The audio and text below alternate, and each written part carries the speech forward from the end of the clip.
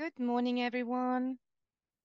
Greetings, um, all colleagues around the world. Um, thank you so much for your interest in today's event. Um, I would like to um, describe what the, what's the GloLitter all about very briefly for those who haven't met us yet. Uh, I'm Tamara. I am the project manager of the GloLitter Partnership Project and with IMO team in London. Uh, we have Ada also on the call on the team who is supporting us. And um, today's event is part of the uh, our training programs that we are conducting online virtually to make sure we reach out to um, as many participants as possible. GloLitter Partnership Project started in 2020 and it was seed funded by the government of Norway and is uh, the project is implemented by IMO and FAO together. Uh, today's event, as um, Ada mentioned, uh, is uh, interpreted into French language. Uh, the same event will take place tomorrow, but a different time. We wanted to make sure that uh, our colleagues and partners around the world could join a different time zone that are convenient uh, for them. And um, I hope you manage to switch to interpretation if you need to. The event will be recorded. If you have any objections, please let us know, but that's for the purpose of um, enabling uh, other participants that were not able to attend or can attend only partially, being able to come back and listen um, to the recording. Uh, the I uh, the um, event today is conducted by uh, Mr. Peter van. He is our international consultant, um, expert on port reception facilities in general sea-based marine plastic litter. And he is the author of the guidance on how to develop port waste management plan, among other uh, guidance documents produced by under the GloLitter Partnership Project. We shared with you this uh, guidance document before, but it is easily accessible online, and I will ask Ada to drop the link um, in the chat. We also have this uh, Peter's uh, PowerPoint presentation translated in French that will be also shared uh, to, with you for future reference. Um, we expect that this training, um, during this training, uh, our partner countries, representatives of maritime and uh, fishing industry, gain enough knowledge to be able to share this knowledge later on with their colleagues and other stakeholders in the country, uh, as well as in the region. I would also like to um, emphasize that we shared with you a survey uh, last week to fill out to uh, understand better general knowledge um, on the issues that we're discussing today. We'll also be sharing a similar survey after this event to see how much um, advance uh, the knowledge advance after the seminar. That's only for our records. It will not be shared with anyone. We just want to keep the database and see how we improve and support advancing knowledge uh, regionally and globally. Thank you so much. Without further ado, um, Ada, do you have any other logistical points to emphasize, or we can um, let Peter start? We can let Peter start. Yeah. Thank you so much. Uh, good luck. Enjoy the webinar. Uh, the pleasure meeting you. To see everyone online, Peter, floor is yours. Thank you.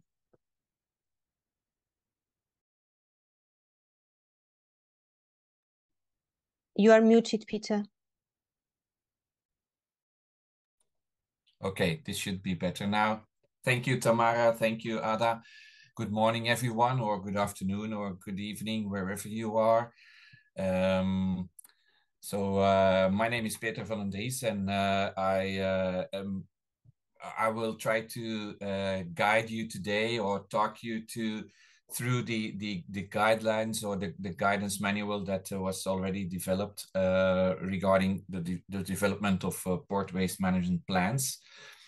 Uh, I will briefly introduce myself. So I work actually as a, a policy advisor for the uh, environmental uh, administration in the Flanders region of Belgium. And I am, have been dealing with waste from ships for, for many years. Uh, I also work as an independent consultant, um, mainly for the IMO. Uh, and before uh, this, I have worked as a technical environmental manager for the Port of Antwerp Authority.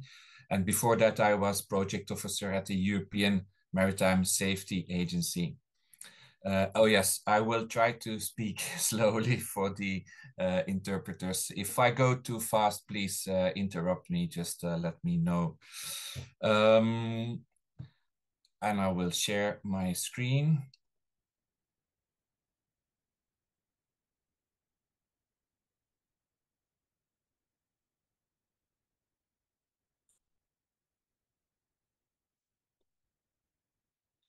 This should be okay. Ada, is it okay? No? Hmm. We'll try again. No, that's fine. That's fine, Peter. It was Ah, okay. Go back. It was Yeah, yeah, okay? yeah. Okay. Yeah, I think it's a slow uh, transmission. Just yeah. Ah, okay. Yeah. Yeah.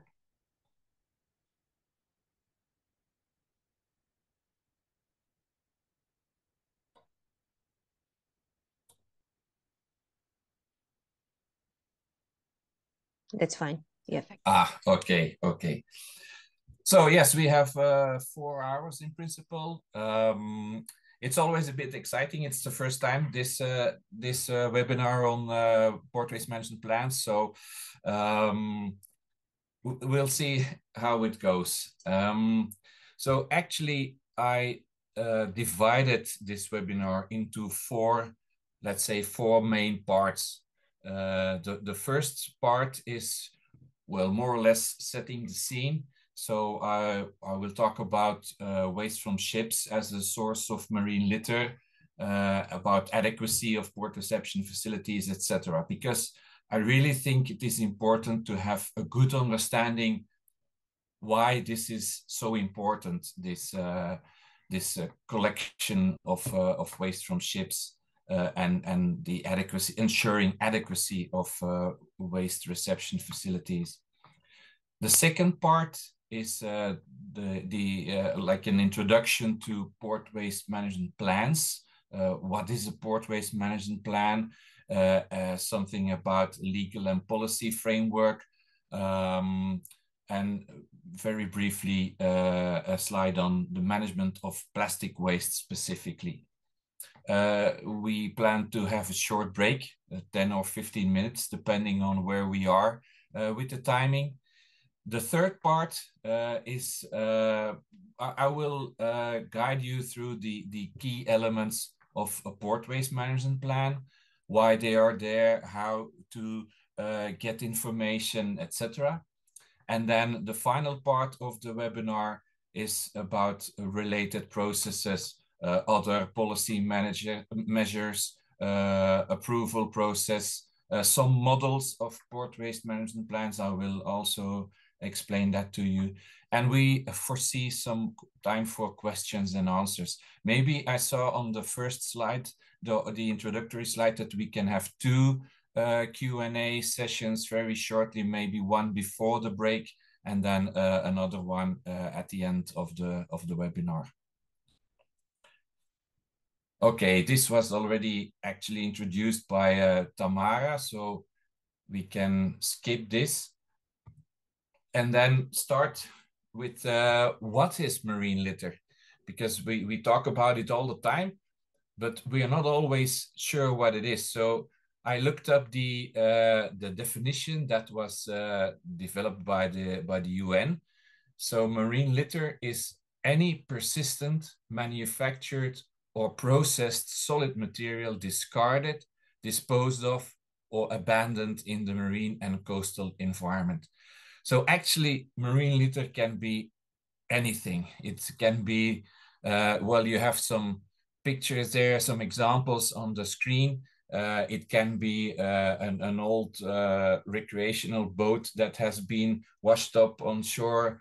Uh, of course, lots of plastic items, an old buoy that uh, that is uh, floating around, even some parts of or from rockets that fall from the the space into the ocean. So it's it's really diverse. It can be it can be everything. And where do we find this uh, this marine litter? Because if if you would ask someone to to to what to explain what is marine litter, then everyone I guess would say, well, it's the the the debris that that floats upon the the ocean's surface. Um, but actually, it's it's it's the, the minority of uh, of the, the the amount of waste uh, in in marine litter. It's actually only between 0.5 and 15% of total marine litter that is floating upon the ocean. Um, and, another part of the marine litter is floating in the water column. And actually, the majority of marine litter is on the seabed.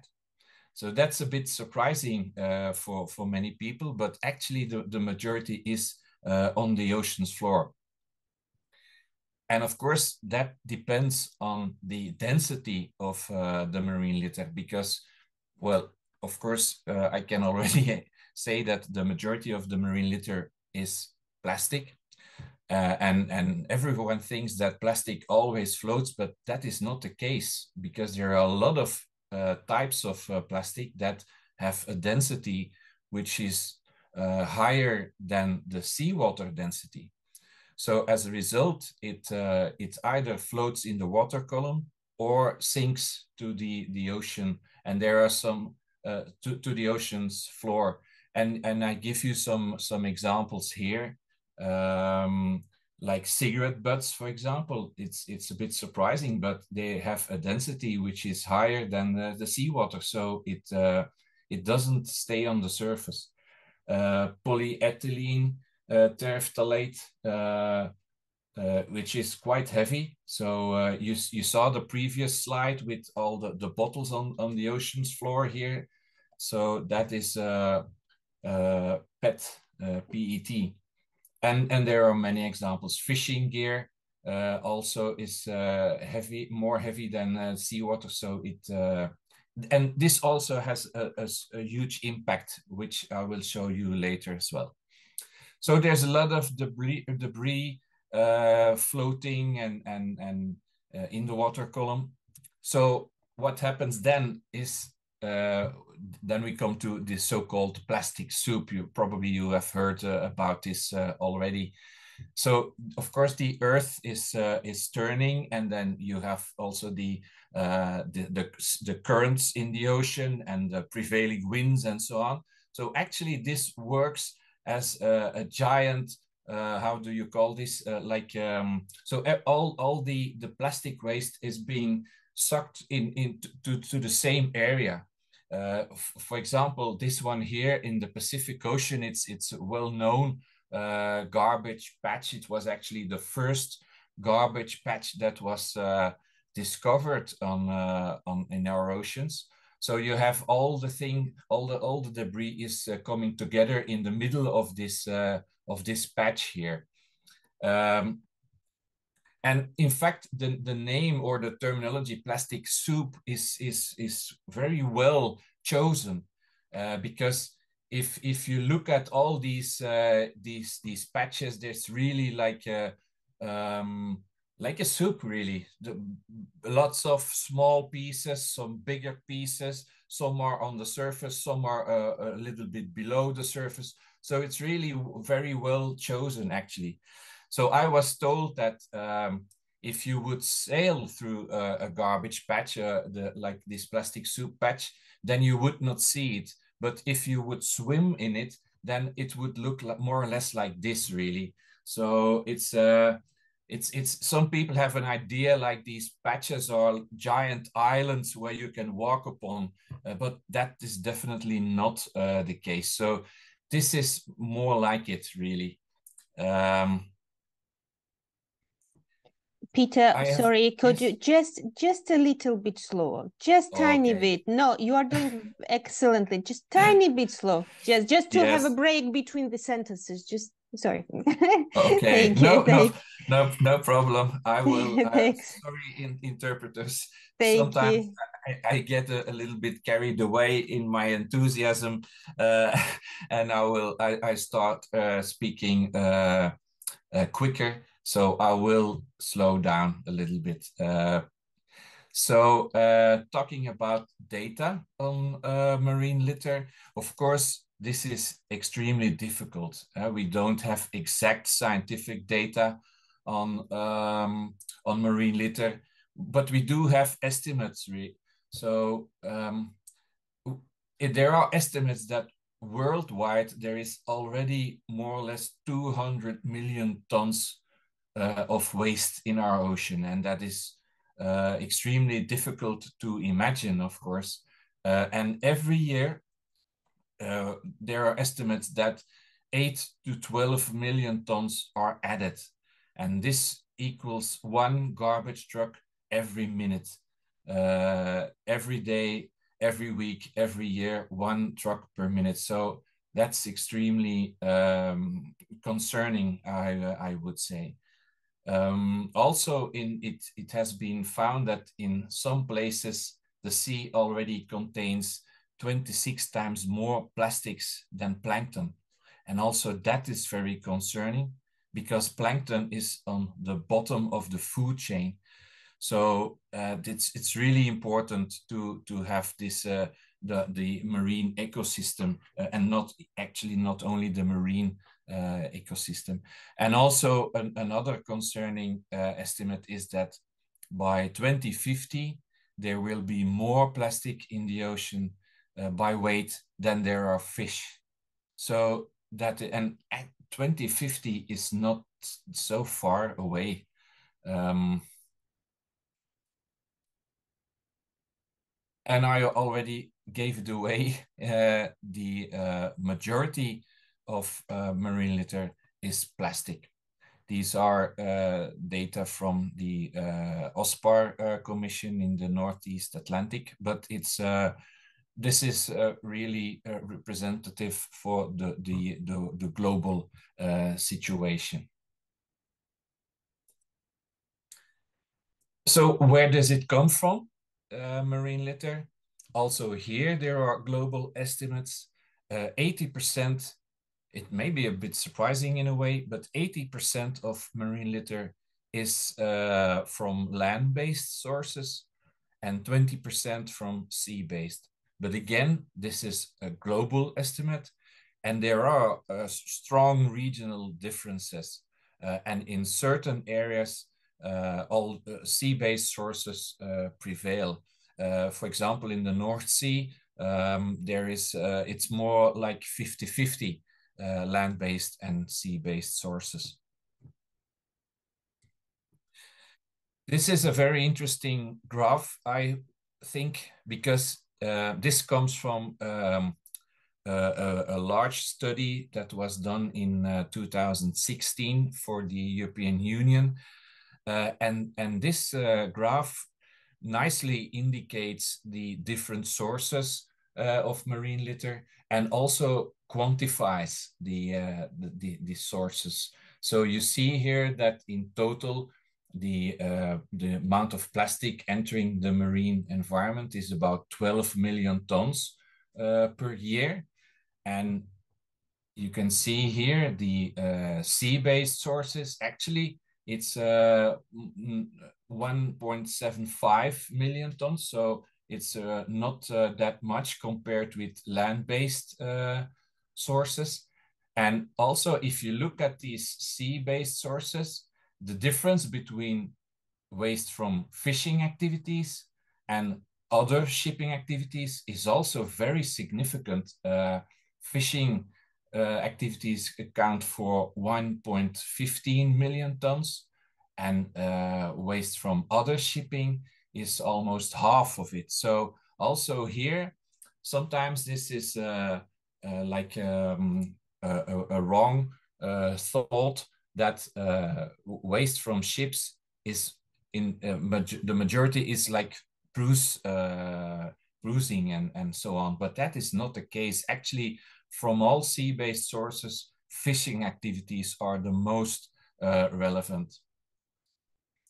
Um, yes, also here, this, this slide indicates that the majority here on the seafloor is, well, according to this uh, um, these data, it's 94% of all uh, marine litter. So really, uh, that that is really a lot. Um, and also this, um, because you also have heard probably about initiatives that are being taken to uh, to take out the marine litter from the ocean. For example, the uh, ocean cleanup. That was that's uh, an initiative taken by a Dutchman uh, Boyan Slat, uh, and and he has designed these uh, large, like um, how do you see it, devices that float on the ocean and collect the marine litter. And of course, that is a nice initiative, but you, you don't you only catch a very small amount of the, the marine litter and uh, it is extremely difficult to take out the, the marine litter which is on the seabed. Also, this uh, slide indicates uh, the sources of uh, marine litter. The yellows are uh, land-based and the blue ones are uh, sea-based. So you see here, this is the east eastern part of Asia. This is North America. So you see that uh, in, in Asia, the majority of marine litter more or less is uh, land-based, while if uh, while looking at the uh, west coast, the North American west coast, it's more the uh, sea-based sources uh, that prevail. So depending on where you are, that this can this can differ. And then talking about sea-based sources, um, of course, it can be everything. It can be uh, all types of shipping from the largest vessels to the smallest yards uh, and also offshore activities uh, and aquaculture. It, uh, of course, it's, it's very obvious. Now we will go a little bit more into detail uh, about uh, or into uh, sea-based sources of marine litter. So the first one I, I give you here is container loss. Um, of course, that is something that not uh, that happens not that much, but you will be surprised uh, the, the amount of containers that are lost every year. But when it happens, of course, it's a, a, a major source uh, of marine litter. Um, you see here some pictures of like uh, cigarettes and, and so on and, and other stuff. But also plastic pellets, that this is really an issue uh, when, it, when, when we talk about container loss. Uh, I think two or three years ago, there was a vessel uh, in the uh, Sri Lanka seas uh, which lost some containers and some of them were containing plastic pellets. It's you see here the picture on uh, uh, on the left below. Uh, these plastic nurdles are how, how they call them sometimes. They are used as a, a, a, a source, a, um, a raw material for, for the, the, the production of plastics and they you can see here the picture all this white here it's it's all the, those beaches were covered in in plastic pellets. Uh, and that was really a major disaster, which, which led also to discussions within the IMO about how or about whether we should strengthen the regulations uh, regarding where to put these uh, containers uh, with plastics uh, with plastic pellets on the vessel. there are some there were some voices or some opinions saying that actually we should regard these plastic pellets like some type of the hazardous material uh, and maybe put the containers with plastic pellets uh, more inside the, the vessels uh, so that they that when the containers fall off that they do not uh, contain these uh, these plastic pellets. But these discussions are still ongoing. Here are some data. As I said, uh, it is a bit surprising because if, of course, there were some uh, major disasters like uh, here in 2013 and also in 2020, but in average, every every year there's about 1,000 containers being lost at sea. So that is, uh, in my view, that is surprisingly uh, a, surprisingly high number. Um, another uh, source uh, or uh, sea-based or a shipping uh, source of marine litter is uh, the discharge of cargo or washing waters containing cargo. And also here you have an example, these um, persistent floaters like paraffin, for example, when this um, it's in, in general, when it is being transported, it's a, a liquid but if it is uh, discharged at, uh, at, at, at, or in, in, the, in the ocean, then it solidifies. And it's really uh, very light, so it can it can move for uh, for huge distances. And then you have these uh, the picture on the right here below these uh, these yeah packages of, of solid material they wash upon uh, the beaches um, so we in, in, in Western Europe, uh, especially, we this was a problem for, for many years. Um, and but the IMO has also uh, tackled this. Uh, and since uh, the beginning of, I think it was 2021, uh, it is no longer allowed to discharge these types of of cargo or washing water at, at, at sea. So now when a ship transports persistent floaters, then the ship is required after uh, delivering the cargo, the ship is required to do a pre-wash at the port and deliver the, the, the washing waters from these uh, pre-wash to a port reception facility in, in that port. Uh, or the ship is not allowed to to leave the port. Uh, so that, I think that is uh, also a very good uh, initiative. Another type of uh, shipping marine litter is the discharge of garbage. Um, of course, garbage, uh, MARPOL Annex 5 uh, there are very strict uh, discharge requirements uh, in uh, MARPOL, and I, I, will come to that later as well. But uh, in principle, it you cannot discharge any garbage unless it is explicitly allowed, and there are only very few types of garbage that can be discharged at sea legally. Um, you see here two pictures. The picture on the left is this is a, a net that is or was used for um, uh, for for cargo for uh, uh, keeping the cargo in uh, in place. This picture was taken near Scotland uh, at a depth of uh, 1,000 meters. And then the picture here on the right, you see, well, you can see what it is. It is a, a can of of Heineken beer well, as a Belgian, we don't think this is beer really, but uh, uh, this was this picture was taken in the Gulf of Biscay uh, near France, um, also at a depth of uh, 1,000 meter. And this clearly, you see, it's it's not even covered with uh, with algae. So this was mm, as a, almost certainly uh, dropped from a ship.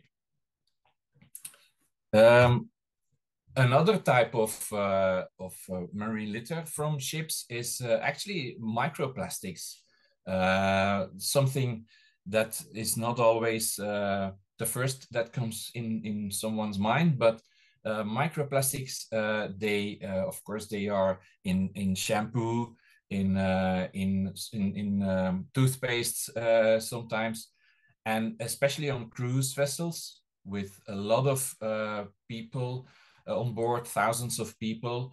uh, of course, that uh, this uh, these microplastics they end up in the gray water from the vessel, and there are actually no um, discharge criteria for gray water. So um, these microplastics they also end up in the ocean, um, and even when cruise vessels are equipped with uh, sewage uh, treatment uh, systems, these systems are in general not uh, designed for taking out the, uh, the microplastics. So that is also a relevant source of marine litter. And also from the hull, uh, sometimes paintings, uh, paints, they, they, uh, they also contain microplastics. And of course, they are being released in the, uh, in the ocean. And then finally, uh, I already spoke about uh, fishing activities as a source of uh, marine litter. This is really an issue. Um, I was also in the GESAMP uh, working group uh, working on the report of sea-based sources of marine litter. And there was, although there's not that much scientific data also for this, but in general, there is this agreement that from all sea-based sources, uh, uh, fishing activities is the most um, the most uh, relevant. So I give you here some figures uh, about fishing gear lost each year. Uh, it's it's estimated that 5.7 percent of all fishing nets are being lost. 8.6 of all percent of all traps are being lost. 29% uh, of all fishing lines. And uh, this is uh, a figure that is also extremely uh, big 740,000 kilometers in total of fishing line would, would be lost every year and 14 billion hooks. Um, and when you look at the amount of uh, fishing gear in the total of uh, marine litter, uh, in Europe, we have some data that it is 27% of all beach litter is uh, originating from uh, fishing activities. Uh, in the Great Pacific Garbage Patch, 46% of the floating debris would be uh, from fishing. And in the North Pacific, even 90% uh, of the marine debris that was intercepted by longline fishers was ghost gear. So that's really uh, an enormous amount of, uh, of waste. So now we know where it, it comes from. And uh, I have a few slides also on the impact of, uh, of marine litter. Um, to start with, there, there is a substantial socio-economic impact. You see here some pictures, uh, the, the two above is where uh, fishing gear uh, ends up in the ship's uh, propeller. And uh, that is uh, not only very costly for the ship owner or ship operator to to repair this because you need divers and it's it's not always possible to do that, but it's also very dangerous because a ship on the ocean without any propulsion that is of course very dangerous. Um, and then uh, another uh, type of socioeconomic impact is, of course, um, when uh, in, in tourist areas, for example, when the, the, the, litter washes upon the beaches, of course, tourists don't like that. And it's, it costs a lot of money to clean these, these beaches uh, every day. And, and like this example where it, it is being done mechanically, that's uh, because mm, beaches are also a very vulnerable uh, ecosystem. And if you clean this with uh, heavy machinery and so on, this really disturbs also the, the ecosystem. Um, and then another example here uh, on the right below is um, when the debris uh, uh, impacts uh, like power stations, for example, where they use water to cool the, the, the facility or or the uh, the the uh, the engines and so on. So that can also be very dangerous and uh, costly to remove. Another type of impact of uh, marine litter can be uh, the uh, distribution of invasive species. Uh, you see here some examples with uh, with mussels uh, connecting to uh, to plastic bottles and and packaging, and then actually the picture here on the right with the Nike trainer. this picture was taken here in Belgium on the the the the, the, coast, the, the the western part of Belgium, and uh, this is from an organization that collects uh, beach litter. And they found this, this uh, trainer with uh, these types of uh, mussels uh, connected. And they were able to trace this, this shoe. and actually, it turned out that this shoe was lost on the east coast of the US. So it traveled all the Atlantic to wash up in, in Western Europe uh, and you see these mussels in general, in, in principle, they are not uh, indigenous for Western Europe. So they have traveled all the way from the, the uh, west, the east coast of the US to, uh, to Belgium. So this is all clearly an, an example of uh, transfer of, uh, of, of species. And then some very depressing pictures, which you probably have seen also um, entanglement that is very typical also for uh, for marine litter uh, animals. They they when they are small they uh, they put their heads into uh, marine litter, and when they grow, well, you can see what a, a devastating impact it has on uh, these animals. Um, it's really depressing. I, I also think that the the uh, the picture here uh, with the uh, the oyster catcher, the, the bird here. This is really such a stupid uh, example. This uh, this type of bird, they they put their uh, their beaks in the, the the sand to collect food, and this uh, this bird has has had bad luck and had to well died because of it, it, it was no longer able to, to collect food. So this is just, uh, and it's not only small animals here, uh, this uh, sperm whale, uh, it's just uh, amazing. There, there are some videos uh, I, I could show you where two sperm whales are with their tails in a, a, large fishing net. And this, it's really terrible to see things like this. Another example, it, this is specifically called ghost fishing uh, because when, of course, fishing gear, fishing nets, when they are lost at sea, uh, they, well, they continue to do what they are designed for, which is catching fish. Uh, and then uh, it, it, can happen that small fish are um, or, or trapped in these uh, in these nets. And this this then uh, in its turn attracts larger uh, predators larger fish and also they get uh, trapped in uh, in the fishing gear. So then you end up with uh, examples like here on the on the slide. It's very depressing also i think. Another example of uh, environment environmental impact of fishing gear is ingestion. Uh, these pictures, uh, they well, they they're not photoshopped. Uh, in I can assure you that. Uh, for example, the bird uh, on the right there, famous picture taken by Chris Jordan. Um, of course, these plastic items they they are they have nice color and so on, and sometimes animals think it's food.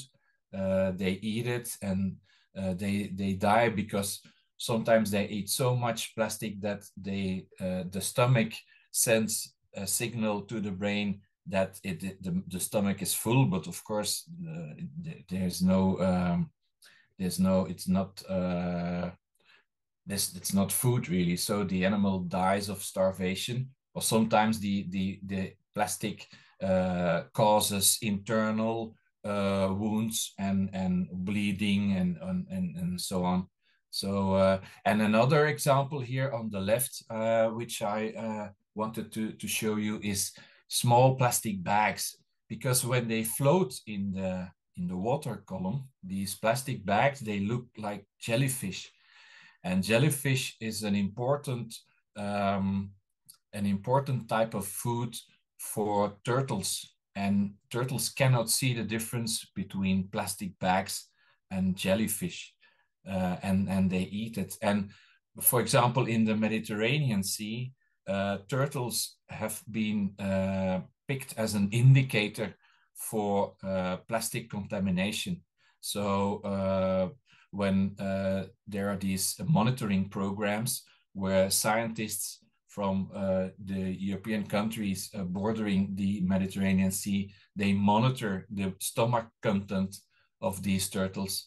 And uh, it also the figures are really amazing because the majority of turtles, they have plastic in their stomach. This is also uh, some uh, pictures that these, uh, this is a, a, bird which is feeding its chick with a cigarette butt. Also very depressing, I would say. And I apologize for these depressing pictures, but pictures say more than uh, than words. So I think it's important. Uh, and then uh, a, last type of impact uh, is uh, so-called smothering. Uh, it's when fishing gear is covering coral, um, and then because of the reduced light and the weight of the fishing gear, the coral reefs they they simply die. Okay, uh, another aspect of uh, marine debris is that it stays a, long time in the environment. Uh, you have some examples here about uh, different types of uh, plastic and, and other uh, marine litter and how long it stays in the environment. And you see here, for example, these uh, six-pack holder, 400 years it stays in the environment. Um, a plastic bottle 450 years. Of course these, these are estimates but still it's really significant. This uh, fishing line, 600 years. Uh, so really this uh, this indicates that uh, plastic litter is in the ocean for a really really long time so you could say well this is a good thing because this gives us a lot of time to collect this uh, this waste. Uh, unfortunately, there is something which is called uh, um, it's called uh, I forgot the the the English name, uh, but the macroplastic, so large larger parts of plastic, they disintegrate and um, they they disintegrate into smaller pieces because of the ultraviolet uh, uh, radiation and also because it's in the ocean and there's a, also a physical uh, disturbing uh, impact. And these uh, plastic which are like hydrocarbons but long chains of hydrocarbons they are being cut in smaller pieces. So actually we we say that macroplastic is turning into microplastic so um, this is a good example, I think. You see here a plastic bag uh, for uh, being used in a, in a freezer, uh, for example. And you see here that there are parts missing. Uh, so probably this piece of plastic has been in the in the ocean for quite some time now. But I would like to to uh, you, you to remember that actually these parts they are not uh, not gone. They are not disappeared. They are just smaller and somewhere else. So these parts have turned into microplastics. They are spreading in in the ocean and it never goes away really. And here i hope it works is a, a small video a short video about plankton so this is there are two types of plankton you have phytoplankton which are like small plants and zooplankton. And this is zooplankton, small animals, and they feed in the in the in the water where so they filter the food from the ocean in uh, for, as as a food.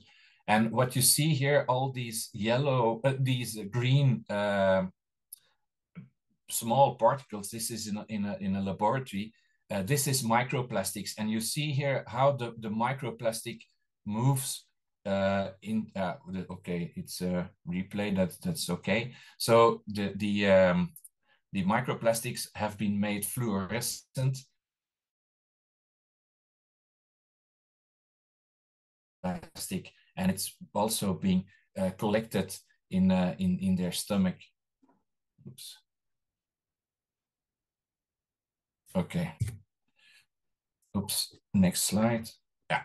So there have been already some studies also about microplastics uh, because the, the plankton, as I said, it's in it's on the bottom of the food chain and plankton is being eaten by uh, by by small fish or small animals and the small animals are being eaten by bigger animals so you have some kind of accumulation uh, in the in the food chain and in uh, belgium for example the university of ghent they have done a lot of research about seafood because we are very fond of seafood especially mussels and it was found that there are uh, um, an average of 190 to 440 microplastics per kilogram of of uh, of meat. Uh, so not the shell, but only the the meat of the the mussel.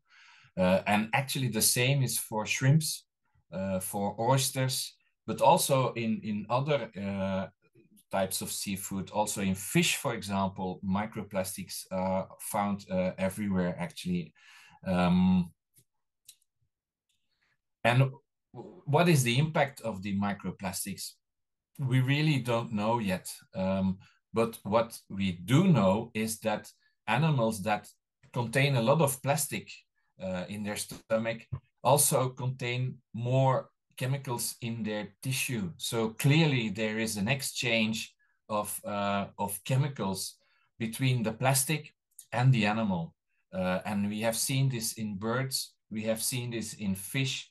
So yeah, we can be sure that, uh, and we also have found microplastics in humans.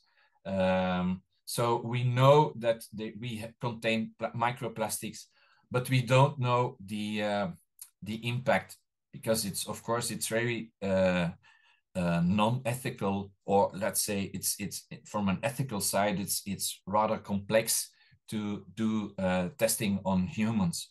Uh, so we do not know the impact. But also one thing we know is that microplastics really, they attract uh, chemicals because most of the uh, harm, um, harmful chemicals, they are uh, hydrophobic. So uh, the yeah, I'm a chemist from my uh, I have an academic background in chemistry. So uh, uh, I I always like to explain this, but these these these hazardous chemicals they don't like the water. When they are in water, they they when they have the opportunity to connect to something solid, then they will do. So microplastics, of course, are very small, but there are a lot of microplastics in the ocean. So it's really a huge surface, a possible surface for hazardous chemicals to connect. So if these microplastics are being ingested also the the chemicals they uh, they are being ingested so we have to find out what uh, what is the impact on uh, on humans okay so far for the marine litter uh, i think i think we have we are a little bit over time but we have still plenty of time so uh, it should be okay now i would like to uh, talk a little bit about why proper ship waste management or port waste management, if you like, uh, why it is so important. Um, because all the when when we try to develop port waste management plans and so on, this is all about having waste from uh, from ships to uh, land-based uh, facilities. And of course, the first important uh, reason uh, is that there's a legal requirement. Uh, there is MARPOL, for example, the International Convention on the Prevention of Pollution from Ships. Uh, where there is a, a, clear requirement for states to ensure the availability of adequate uh, reception facilities in the ports. Um, there are also, as I explained, rather strict discharge requirements for ships. So there is almost no possibility to discharge garbage at sea. So as a result, uh, it's important that ships have the opportunity to deliver the waste to shoreside uh, facility. Uh, and also MARPOL uh, describes some uh, some regulations regarding onboard management of uh, of waste. Um, in addition to MARPOL, there can also be regional requirements. For example, the European Union has uh, uh, an, a, a, directive on uh, port reception facilities. So in EU uh, member states and, and ports uh, have to meet these strict requirements. but also regional sea commissions, for example, they can have additional requirements uh, regarding the collection of uh, waste from ships. Also on a national level, there can be requirements. Uh, some countries, they have specific waste strategies, uh, also including uh, waste from ships or water quality objectives, which have an impact on the uh, delivery of waste from ships. Uh, and then finally, also some ports may have specific regulations, for example, on segregating different types of waste. So clearly, this uh, from a legal perspective, it is important to to take this into account. Another reason why this is important, I already explained to you. there is a, a, a substantial uh, impact uh, on the uh, marine environment uh, linked to illegal. And I put illegal between brackets here because, um, as I said, there are very few legal options to discharge uh, waste at sea. So this is a, a, an obvious reason after what we have seen uh, before. A third reason is that um, economic growth should not lead to increased environmental impact. Um, as I said in the introduction, I was a technical environmental manager at the uh, Port of Antwerp Authority here in uh, Belgium. And we also implemented several uh, strategies and, and uh, regulations regarding uh, waste, uh, not only waste from ships, but port waste in general.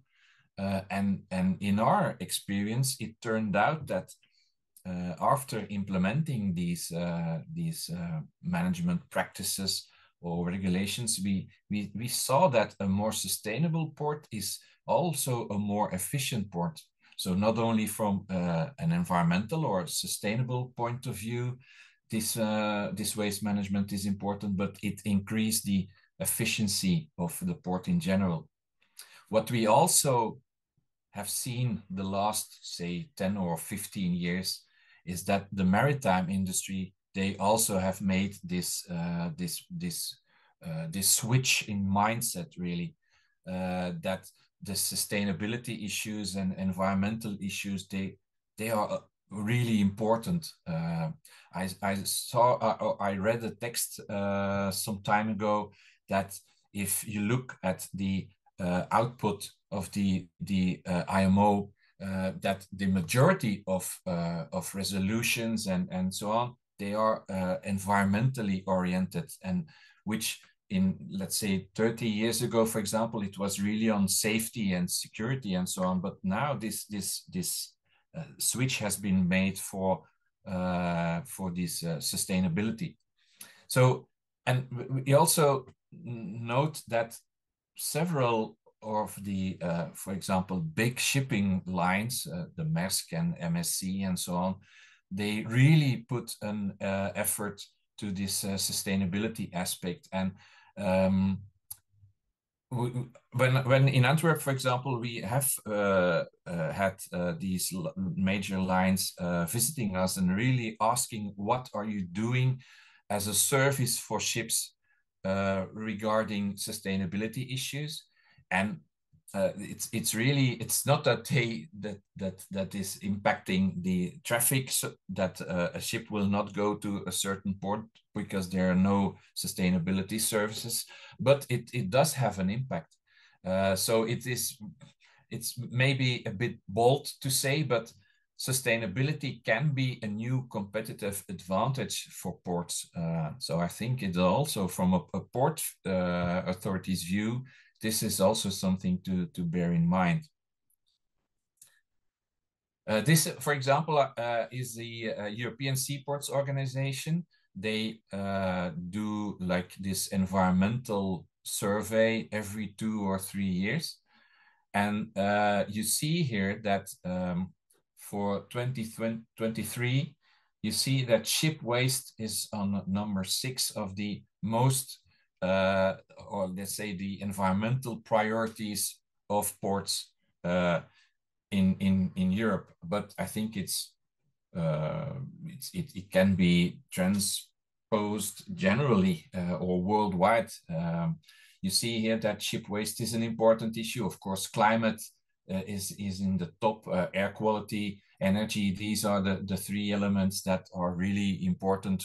Like the last five years, so it's not a surprise that they are on top. But ship waste is uh, here, and the, also the previous years, ship waste has always been, let's say, uh, a, a, priority uh, for for European ports. Um, and then a, a, last reason why I think that uh, proper ship waste management is important is that it is an important step or necessary step in the transition towards a circular economy. Um, with the circular economy, we we want to step away from this linear uh, approach where you produce material uh, and then end up with uh, something that you dispose of. So uh, instead, the circular economy tries to uh, recycle and reuse uh, the, the, the, the, the material at least. And waste it can be seen as a resource of uh, raw materials. It, it is a, a, complex resource, of course, but it is a, a resource, a valuable uh, resource of, uh, of raw materials. So if you look at ship's waste, uh, at garbage here, uh, these, uh, this graph here is from also the Port of Antwerp. this, it, this is the composition of the garbage that has been delivered to port reception facility. And the gray area here is uh, plastic. And in principle, plastic can be recycled uh, rather easily um, as long as it is not, uh, the mixture is not too complex. Uh, so that is a potential source of, uh, of raw material. And the blue uh, amount here is mixed waste. So I, can imagine that there is a lot of plastic in in that uh, uh, amount as well. So if we could take it out there, then and uh, it it can be uh, recycled. But not only plastics, of course, also paper can be recycled easily, metals, and e even e-waste. So also this uh, is why I think it is important to uh, take this in, in consideration. Then finally, in this uh, first part uh, is about I'm adequacy. sorry, Peter. I'm sorry, yes? Peter. Is the interpretation okay? Because I can't hear French. Uh, I'm sorry. Is interpretation okay? I can't hear French. Ada? I just heard that uh, I just listened in. I don't hear them either. Ha Bonjour, est-ce que vous êtes là? Weird. Euh, oui.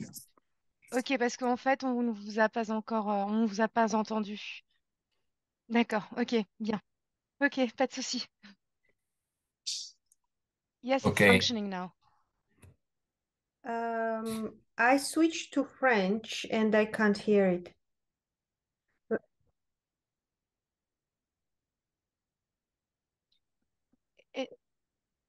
Oui, oui, je- Okay. moi je vous entends.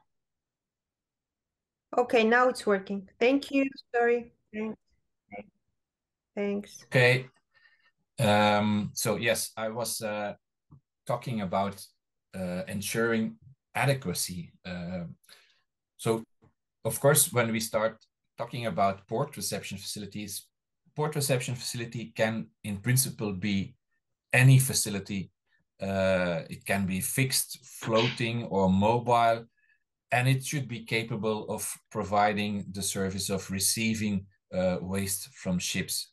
So it can be in in in practice, it's um, mainly done by a mobile uh, reception facility, a barge or a truck, or a fixed. And both uh, have uh, pros uh, and and cons. For example, a mobile facility, a truck, is relatively cheap. Uh, it's uh, you can you can you can uh, travel from uh, one side of the port to to another very quickly.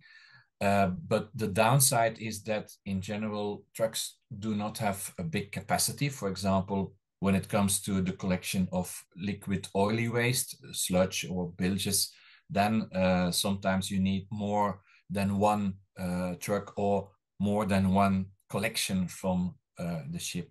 A barge, for example, is more expensive but has larger uh, storage capacity.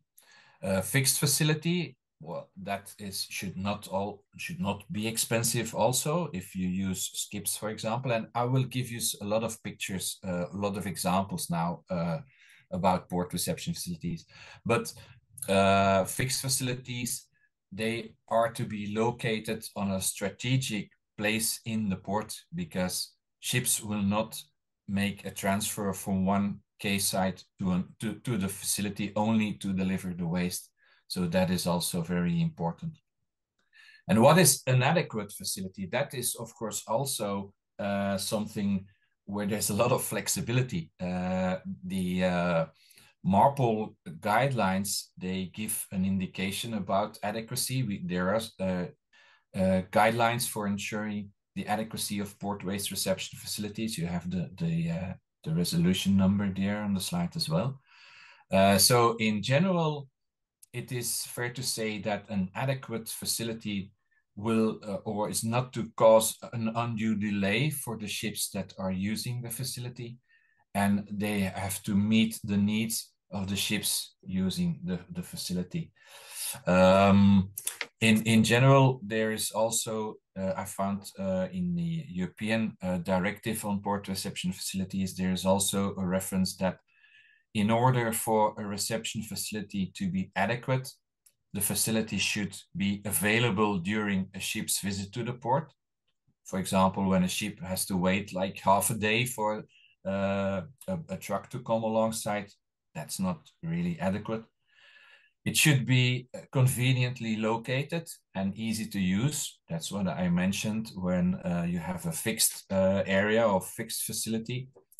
Um, it should, the reception facility should cater for all types of waste streams usually entering the port. What uh, this means is that if you are, for example, a, a, a port where it's of, course purely hypothetical, but where 90% of the terminals are uh, doing dry bulk uh, cargo, for example, then you don't need facilities for oil tankers, where you often have uh, a lot of liquid oily waste or washing waters containing oil and so on. If you are a fishing port only, then you don't need other facilities for cargo waste and, and etc. So this is also clearly for the ships that are normally using uh, the port. And finally, an, an, an, important issue is also that an, um, and the use of an adequate facility uh, should not cost so much uh, as to present a, dis a disincentive to users. So also the cost issue is very important when it comes to reception facilities. Uh, there's also reference to the cost, uh, the reasonable cost in the uh, MARPOL guidelines. So I will give you some examples now, some pictures. This is uh, a reception facility in the port of Antwerp. Uh, this is actually the biggest fixed facility in, in Europe. Uh, you, this was this used to be a dry dock. You can see here on the picture that you have all the storage facilities and treatment facilities located here or built in this uh, this dry dock. Um, this seemed to be a good idea uh, when this facility was constructed, but now we know that actually it's not that uh, that good because there's always uh, some water seeping in or leaking in the uh, this uh, area, and it's very difficult to to keep the the the the, the facility so to avoid corrosion uh, and so on. Um, and also, this facility actually uses, you can see here on the right, they use the barges to uh, go outside in the port and collect the waste from the ships. So do you see a vessel here? But it's not uh, the case that these vessels they they sail to this facility to deliver waste. No, this is this vessel is here because this this facility also does like uh, cleaning of uh, of cargo holds. So uh, they they use barges this is another example in, in, Sweden, in the port of Gothenburg. This is a, a, also a fixed uh, facility, but you see, this is uh, not uh, that complicated. You only need a few skips or containers uh, or waste bins, uh, and then uh, to make sure that the waste is collected in a dry area to avoid leakage and, and so on.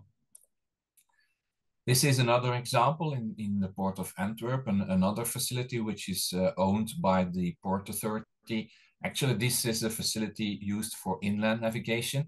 Uh, important here is that uh, this uh, facility can be uh, closed for uh, non for for non not being ships. I mean, because if you would leave this open, there's a lot of littering from other people. Uh, and you have here skips and, and containers for non-hazardous waste. And you, you also have a small storage area inside here. This is the, the inside of this facility. This is for um, hazardous waste. So during uh, opening hours, there's always someone here which uh, who collects waste from these vessels and uh, segregates the hazardous uh, types of waste but when the facility is closed, it can still be used for non-hazardous waste. This is an example in the port of Ostend. You see here also, go to the next slide, only a few skips actually for some of the most uh, available types of uh, garbage. So it's not complicated at all. But what I would like to emphasize here is that these, uh, these skips are located on a lock. So 95% of the vessels that call the port of Ostend, they have to pass this lock. So of course, then there's some time uh, where the ship is there, then the crew can deliver the garbage to uh, one of these uh, skips. This uh, the, the, picture on the left here is uh, in the port of Bari in the south of Italy, uh, where uh, garbage from cruise vessels is being collected also with a container, which is put there. And then the, the, crew has some time to deliver the waste. And when the ship leaves, the, the container is, uh, is picked up. Here on the right, this is on the Cayman Islands, similar. they use just one container uh, where the waste from the ships is uh, is uh, put, and then the the container is transported to a waste disposal facility. Can be an incinerator or a dump site landfill. Uh, this is collect uh, waste uh, or garbage being collected using a barge. this is also in the port of Antwerp. You see here different types of garbage that are put on this barge, actually the the reception facility operator is not very happy with this uh, way because sometimes when there's a lot of wind, for example, it can happen that some uh, sometimes uh, some of the waste falls into the uh, into the the dock, uh, and that is uh, of course something uh, we don't like. This is another example in the port of Rotterdam. this is you can see this is the same vessel. this is not like an open barge, and you have different containers or skips for different types of waste. So what happens when a ship wants to deliver waste, you always have one person from this company, from this reception facility operator, which goes on board of the, the seagoing vessel and then uh, already does some uh, segregation of uh, waste in different types and actually throws the waste directly from the seagoing vessel into these uh, open uh, containers. This actually, in my view, is, is state-of-the-art uh, waste collection. But of course, we are talking about the port of Rotterdam here, largest port in, in Europe, uh, one of the, the largest port in the world as well. So there's a lot of ships here. I think more than 30,000 ship calls, seagoing uh, ships um, calling this port. So you have a lot of waste here, which makes it more, uh, let's say, this, this really is a business opportunity for private uh, operators. Uh, so yeah, it makes it more, it makes it more easy to um, to do this in a cost efficient way. And of course, this is not always possible in, in every port. And it's not always necessary to do so as well, I would say. Um, this is more something similar. I, I, would say this is in the port of Istanbul in uh, in Turkey. Um, I, I, saw this picture somewhere, but I don't have more information about uh, the exact uh, way this is uh, being operated. Uh, this is uh, something we used to have in in our ports here in Belgium as well. This was a, a small uh, vessel that was used for delivering drinking water to uh, to ships. Uh, but after that, uh, it was used. You can see here some uh, containers on board. This vessel was also used for the collection of garbage, but it's not no longer in use. Um, another example here is a collection by truck. Um, this is a truck used for uh, for sludge. Um, and this is the same company. Maybe it's a bit difficult to see, but you see here a barge collecting uh, bilges and, and sludge from uh, a seagoing vessel. In Antwerp, we have like, um, I would say seven or eight uh, of these, uh, these barges. We have actually two main uh, reception facilities that collect oily waste from ships uh, using a barge. And then finally, some examples in fishing ports, because I remember fishing uh, fishing activities are the most relevant sources of uh, or sea-based sources of uh, marine litter. Uh, the picture on the left is in the Netherlands. You see some skips here. Um, that are being used. This picture uh, is in the south of Italy, um, Sicily, some of the small islands in the area of Sicily. Also here you see there's really not much that you need um, for collecting waste from fishing vessels, a few containers, and uh, even sometimes the fishing gear is just put on the, the quayside. Um, for fishing ports, uh, there's one more slide here. Uh, this is in Norway, in uh, the port of Tromsø, uh, close to the, uh, the Arctic uh, area. So also this is really a large fishing port, but you again you see there's not much. There's one container here specifically for other types of garbage, and this container is for fishing gear. Um, so in principle, again, I would emphasize port reception facilities do not have to be very complicated or uh, expensive or whatever. And then this is my last slide on port reception facilities, just to give you an example of uh, about the collection of sewage from uh, vessels.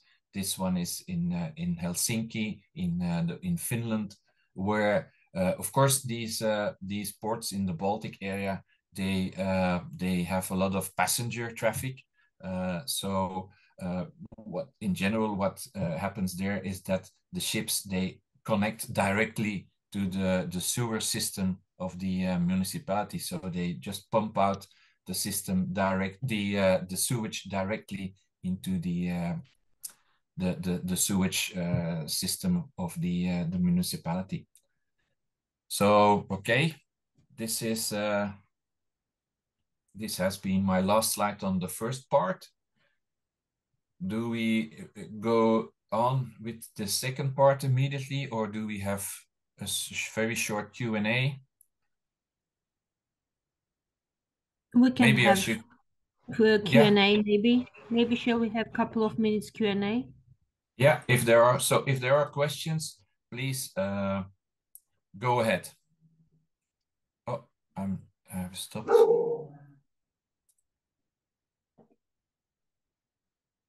No questions, then I shall continue with the second part. Um, part two.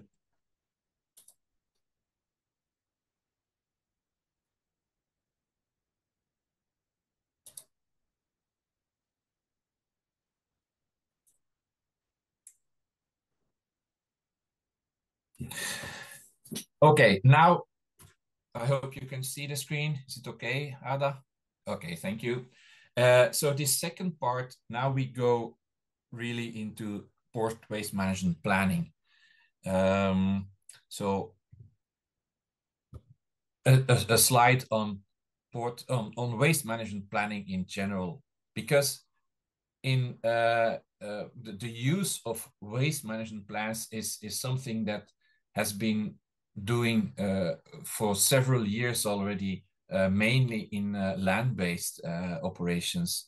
Uh, I think the like the the, the uh, common use of, of waste plans, waste management plans started in the 80s and really started to being used in in the 90s. So I started my my career in the the, the, the, Flemish Waste Agency in uh, 1994. And at that time, there was uh, a, a, really large amount of uh, waste management plans that were being developed for all types of waste in municipalities, in industry, in chemical industry. Uh, so really, it, that, that was the start, uh, I think, uh, for the, the, the, the waste management plan as a tool for improving uh, practices uh, regarding waste.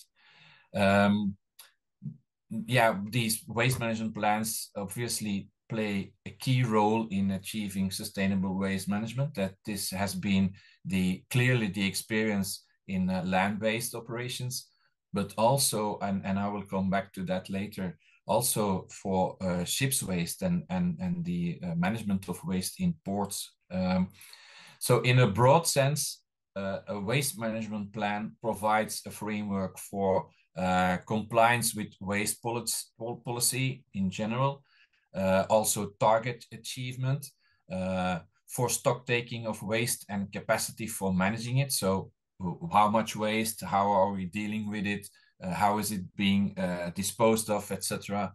the need to outline the need and and and future development. So uh, do we have sufficient waste facilities? Um, do we have sufficient sufficient recycling capacity, for example? Uh, and also uh, to uh, provide a framework when it comes to information on general waste management policies and technological measures. So these are like the four pillars in general uh, for waste management planning, and th they can of course be supplemented with optional uh, elements, and I give you three three examples here. Uh, waste prevention programs, which is becoming more and more uh, important. Also, the, the link with the circular economy and so on. Uh, organizational aspects um, and uh, awareness uh, campaigns.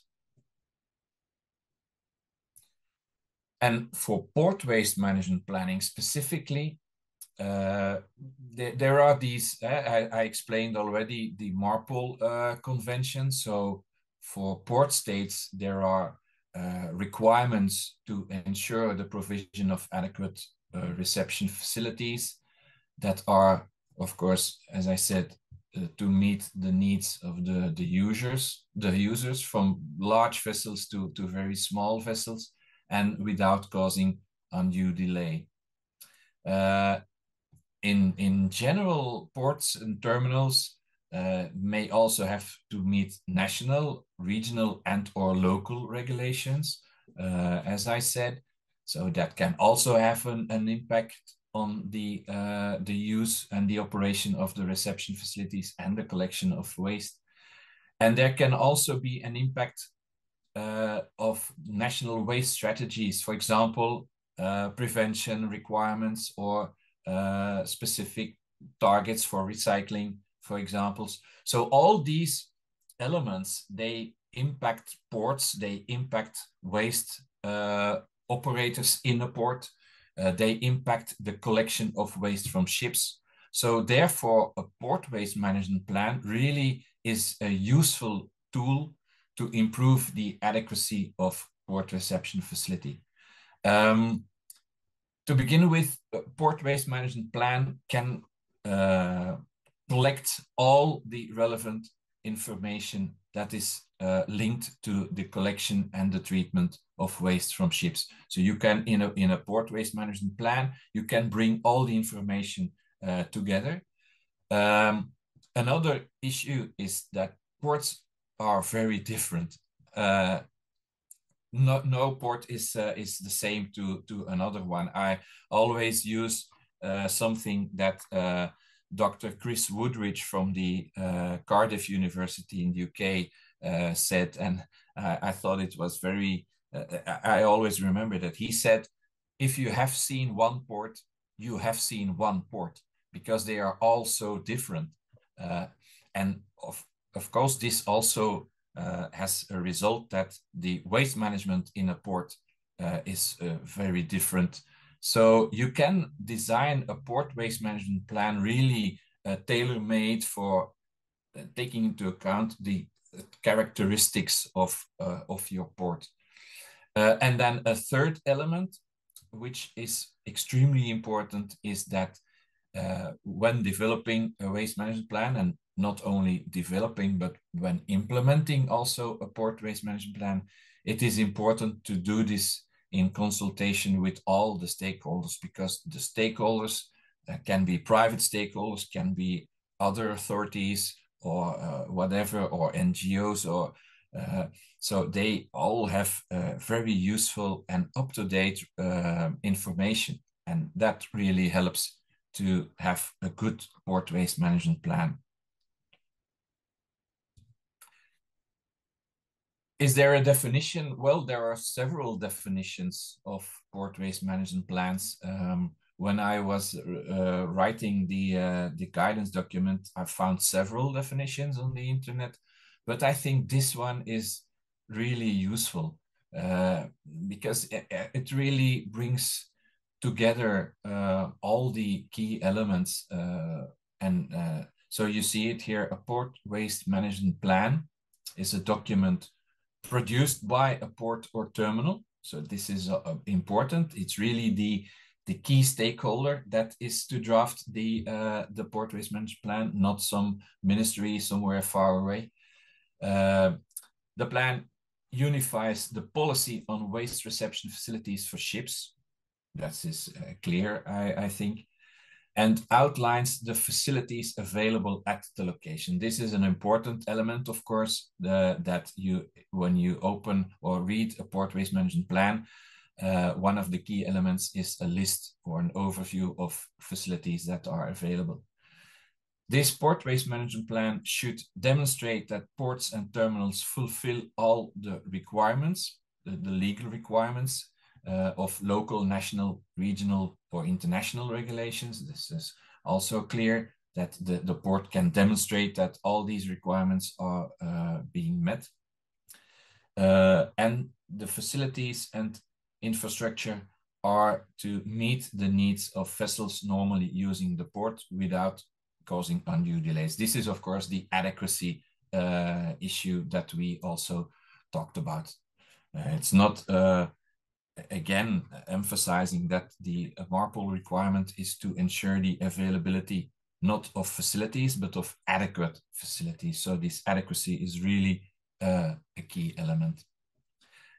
So it should not come as a surprise that the main purpose of a port waste management plan is to improve uh, availability, adequacy, and usage of port reception facilities for waste from ships normally calling the port.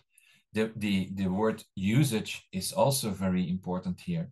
Um, re remember, MARPOL has a requirement for states to ensure the availability of uh, uh, reception facilities, adequate uh, reception facilities, but there's in there's no explicit requirement in in MARPOL for ships using these facilities. Of course, there's this implicit requirement because the discharge criteria are very strict. So as if, if a ship is not allowed to discharge at sea, then as a, a, a consequence, of course, it will have to deliver it to a reception facility on shore. But it's not it's this explicit in MARPOL. So that's why also the usage is uh, very important. And there are some important tools that can uh, enhance the uh, usage of a reception facility. For example, the use of a fee system or uh, the use of an advanced notification uh, system, but I will come back to that in the next uh, part. Um, yeah, well, in addition to this uh, availability, adequacy, and usage, usage of the reception facility, there are uh, the possibilities to implement uh, the requirements and goals from national waste management strategies. Um, if there are, if they are available, um, of course, it's not always the case, but uh, um, the the plan can also translate the goals regarding waste management, uh, including the transition towards a circular economy, as I uh, already explained, specifically for the practices in the port and for the practices relating to waste uh, from ships. And in, in a broad sense, also the port waste management plan can work as a, a guidance document or like a full compendium even uh, for all port users and stakeholders where you can have all the relevant procedures, all the information, etc., etc., in a guidance doc in this uh, port waste management plan. So really as uh, the most uh, uh, the, broadest way to to to see this plan, not only as something you have to produce because it's a requirement in your country or in your port, but really as a useful tool for all port users and stakeholders.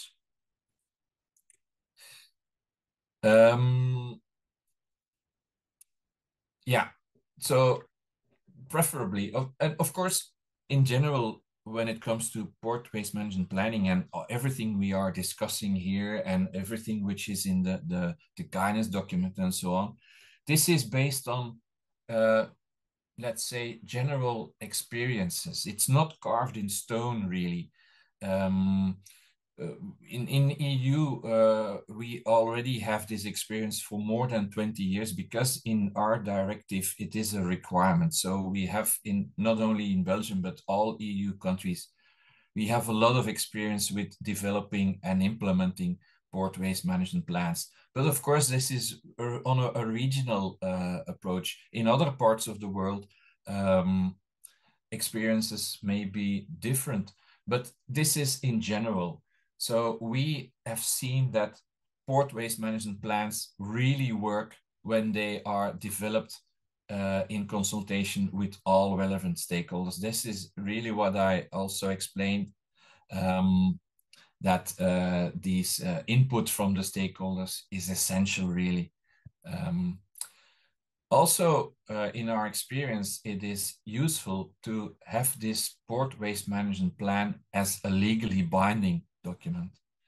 Um, because it, it helps from different sides, not only from the, let's say, national competent authority um, to have this plan implemented, uh, but also from the port authority and all stakeholders. You can, as a port authority, put specific regulations in the plan. If it is a legally binding document, then the users have to comply with these, uh, these elements.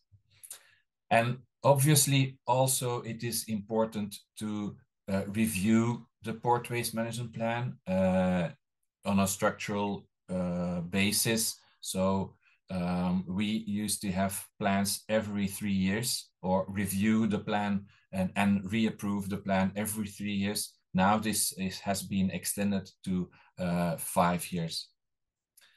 Um, it's also important to have the information of the port waste management plan uh, accessible for all the port users. As I said, it is really important to have many stakeholders involved there. So it's also, it's equally important to have the uh, information available to all uh, these uh, port users and especially key information.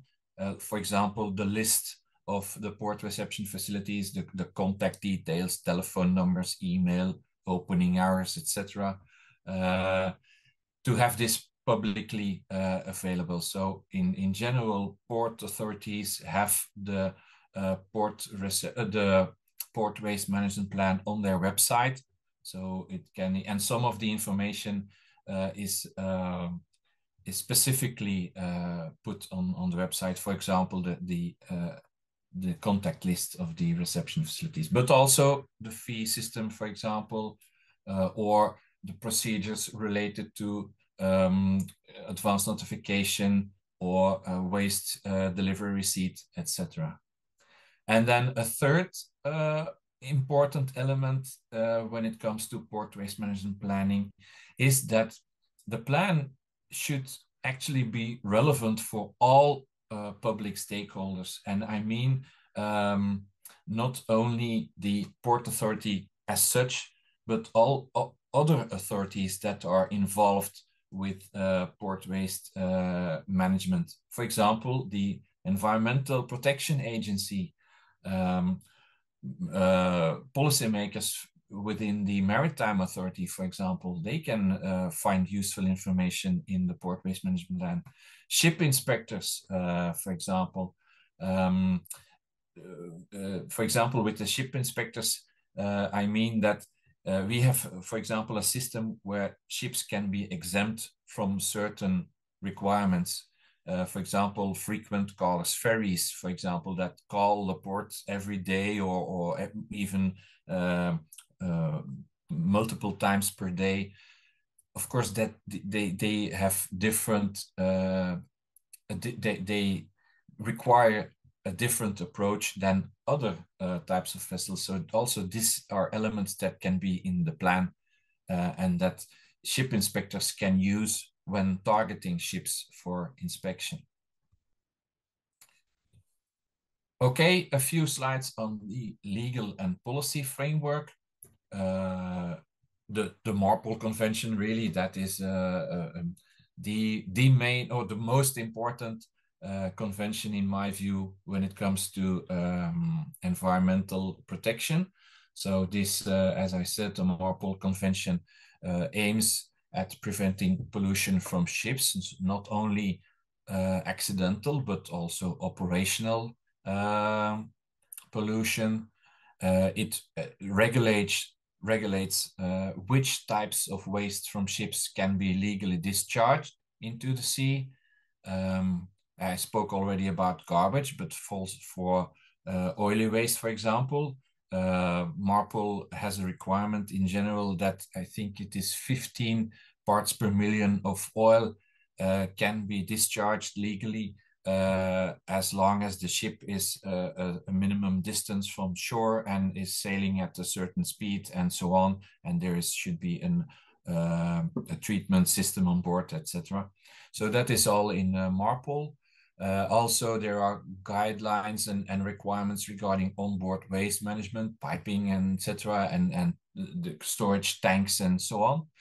Uh, MARPOL also includes uh, references to enforcement uh, and inspections, and of course, this is uh, said many times, the provision of adequate reception facilities in five of the six technical annexes of uh, MARPOL.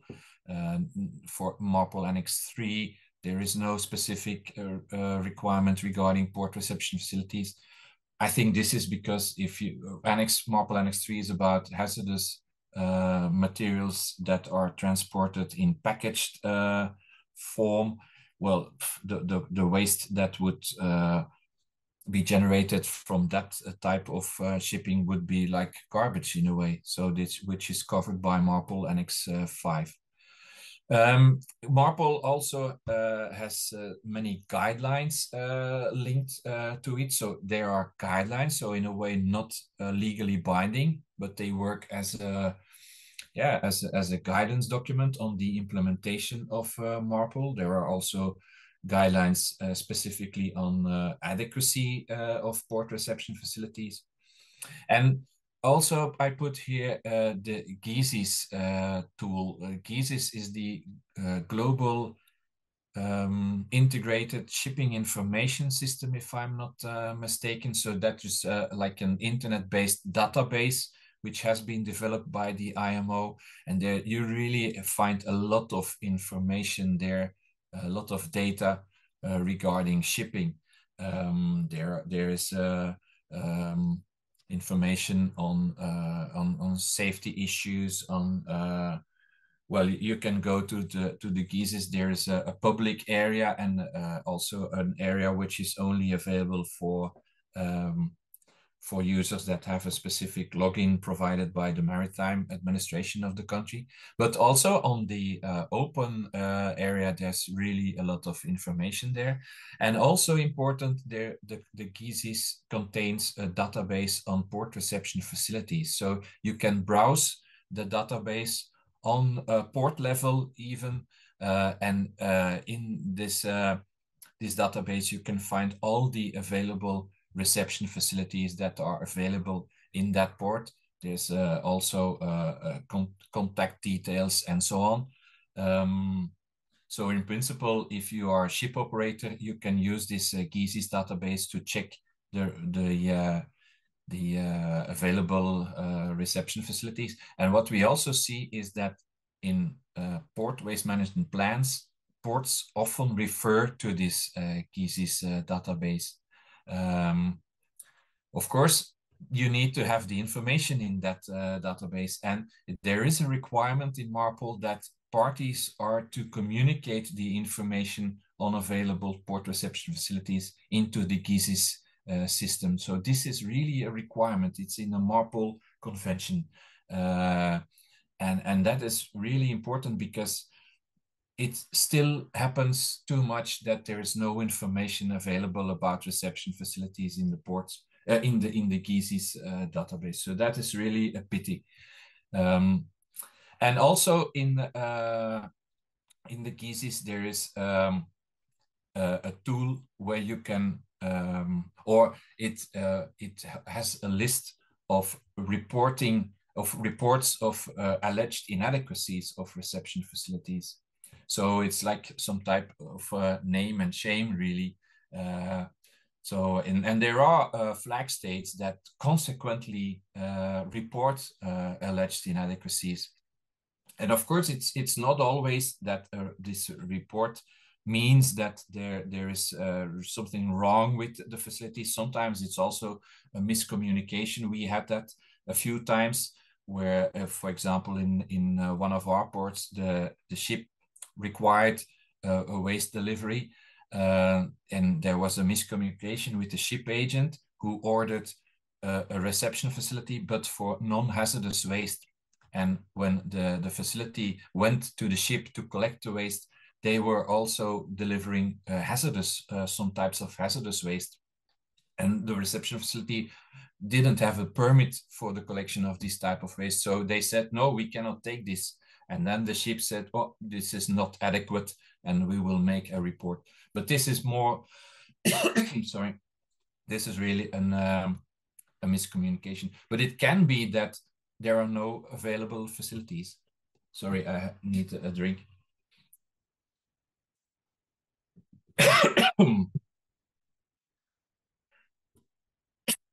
Sorry, I've been speaking a lot. Um, and then, yeah, important to know is that the MARPOL Convention does not contain an explicit requirement for the development of port waste management plans. So if you are looking into MARPOL to see what are the requirements for port waste management planning, you will not find any because they are not there. However, of course, uh, in the, let's say, the IMO policy framework, there are several references to port waste management planning.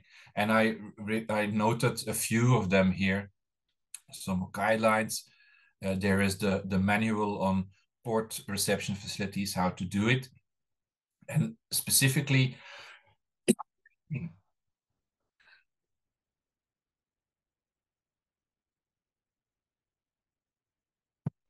the, the IMO action plan to address marine plastic litter from ships, which is quite quite recent, uh, I think three or four years ago.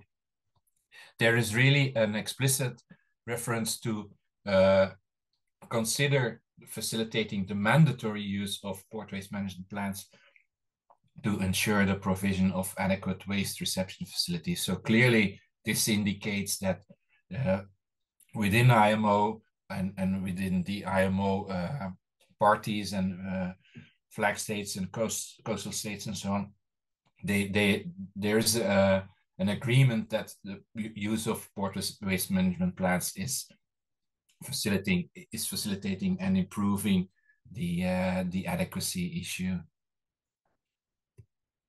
On an international level, I also wanted to draw your attention to the Basel Convention, uh, the Basel Convention provides a framework on environmentally sound management of waste, uh, not specifically on waste from ships, but there is also within the Basel Convention a guidance manual on how to improve the sea-land interface to make sure that ship's waste or MARPOL waste, uh, once offloaded from a ship, are managed in an environmentally sound manner you can find this guidance manual there. I, I put uh, the link there. So in general, the Basel Convention is focusing on land-based treatment of uh, different types of waste.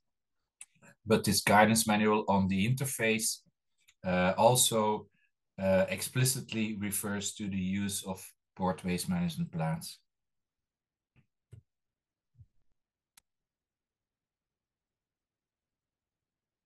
And then I in an international um, like an international um, uh, event like this, uh, uh I I'm often a bit uh, a bit uh, cautious on referring to EU um, regulations, but in this case, I think it's really necessary because I already referred to uh, an, a directive on port reception facilities we have in the EU.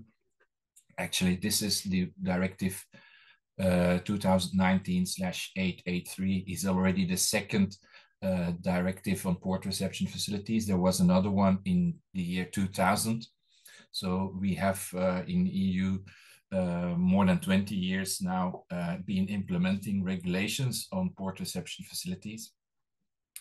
And this directive, this directive um, aims to protect the marine environment against ne negative effects from discharges of waste from ships using ports by improving the availability and use of adequate reception facilities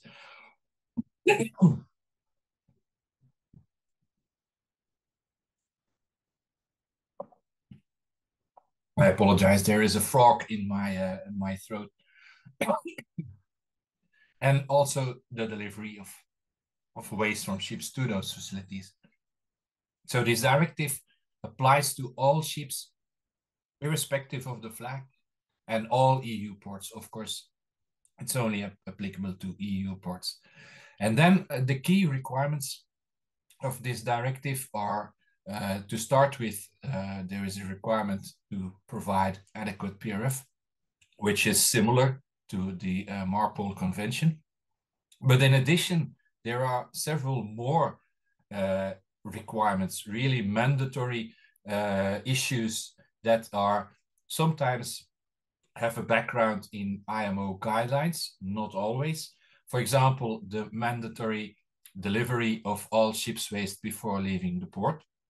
So this is clearly uh, what I explained already in MARPOL. There's no explicit requirement for ships using the facility, but in the EU directive, there is this, uh, it is explicitly there.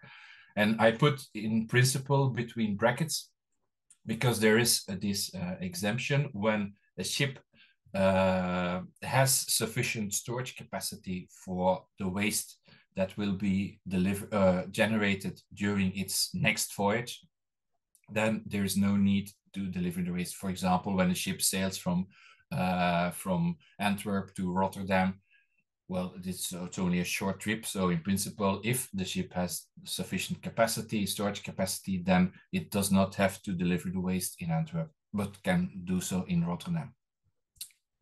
Uh, there's also a requirement to use the advanced waste notification and waste delivery receipt. This is something that finds its origin in the MARPOL guidelines, the uh, consolidated guidelines. Uh, there is a requirement for having a cost recovery system where the cost for collection and treatment is to be covered by an indirect fee from the ships. So all ships that are calling an EU port have to pay an indirect waste fee. And uh, even if they are not using uh, a reception facility, they still have to pay the fee. This is like an economic incentive. Uh, so you can uh, say that well if ships have to pay for the waste uh, anyway they might as well deliver. So that is the the idea behind it. Uh, there's the possibility of exemptions for frequent callers. I gave you already the example of ferries.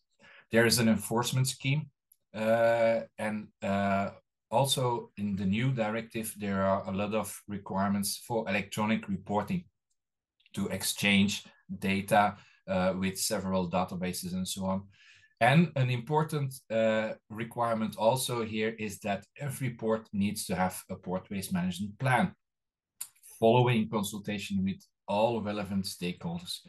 And it is to be evaluated and approved by the competent authority. So that's why I think it is important to refer to this EU directive. And if we look at the uh, the uh, requirements regarding port waste management planning, there are also in this directive, there are uh, elements that are uh, meant to be mandatory. Uh, so they are they are to be put in the plan.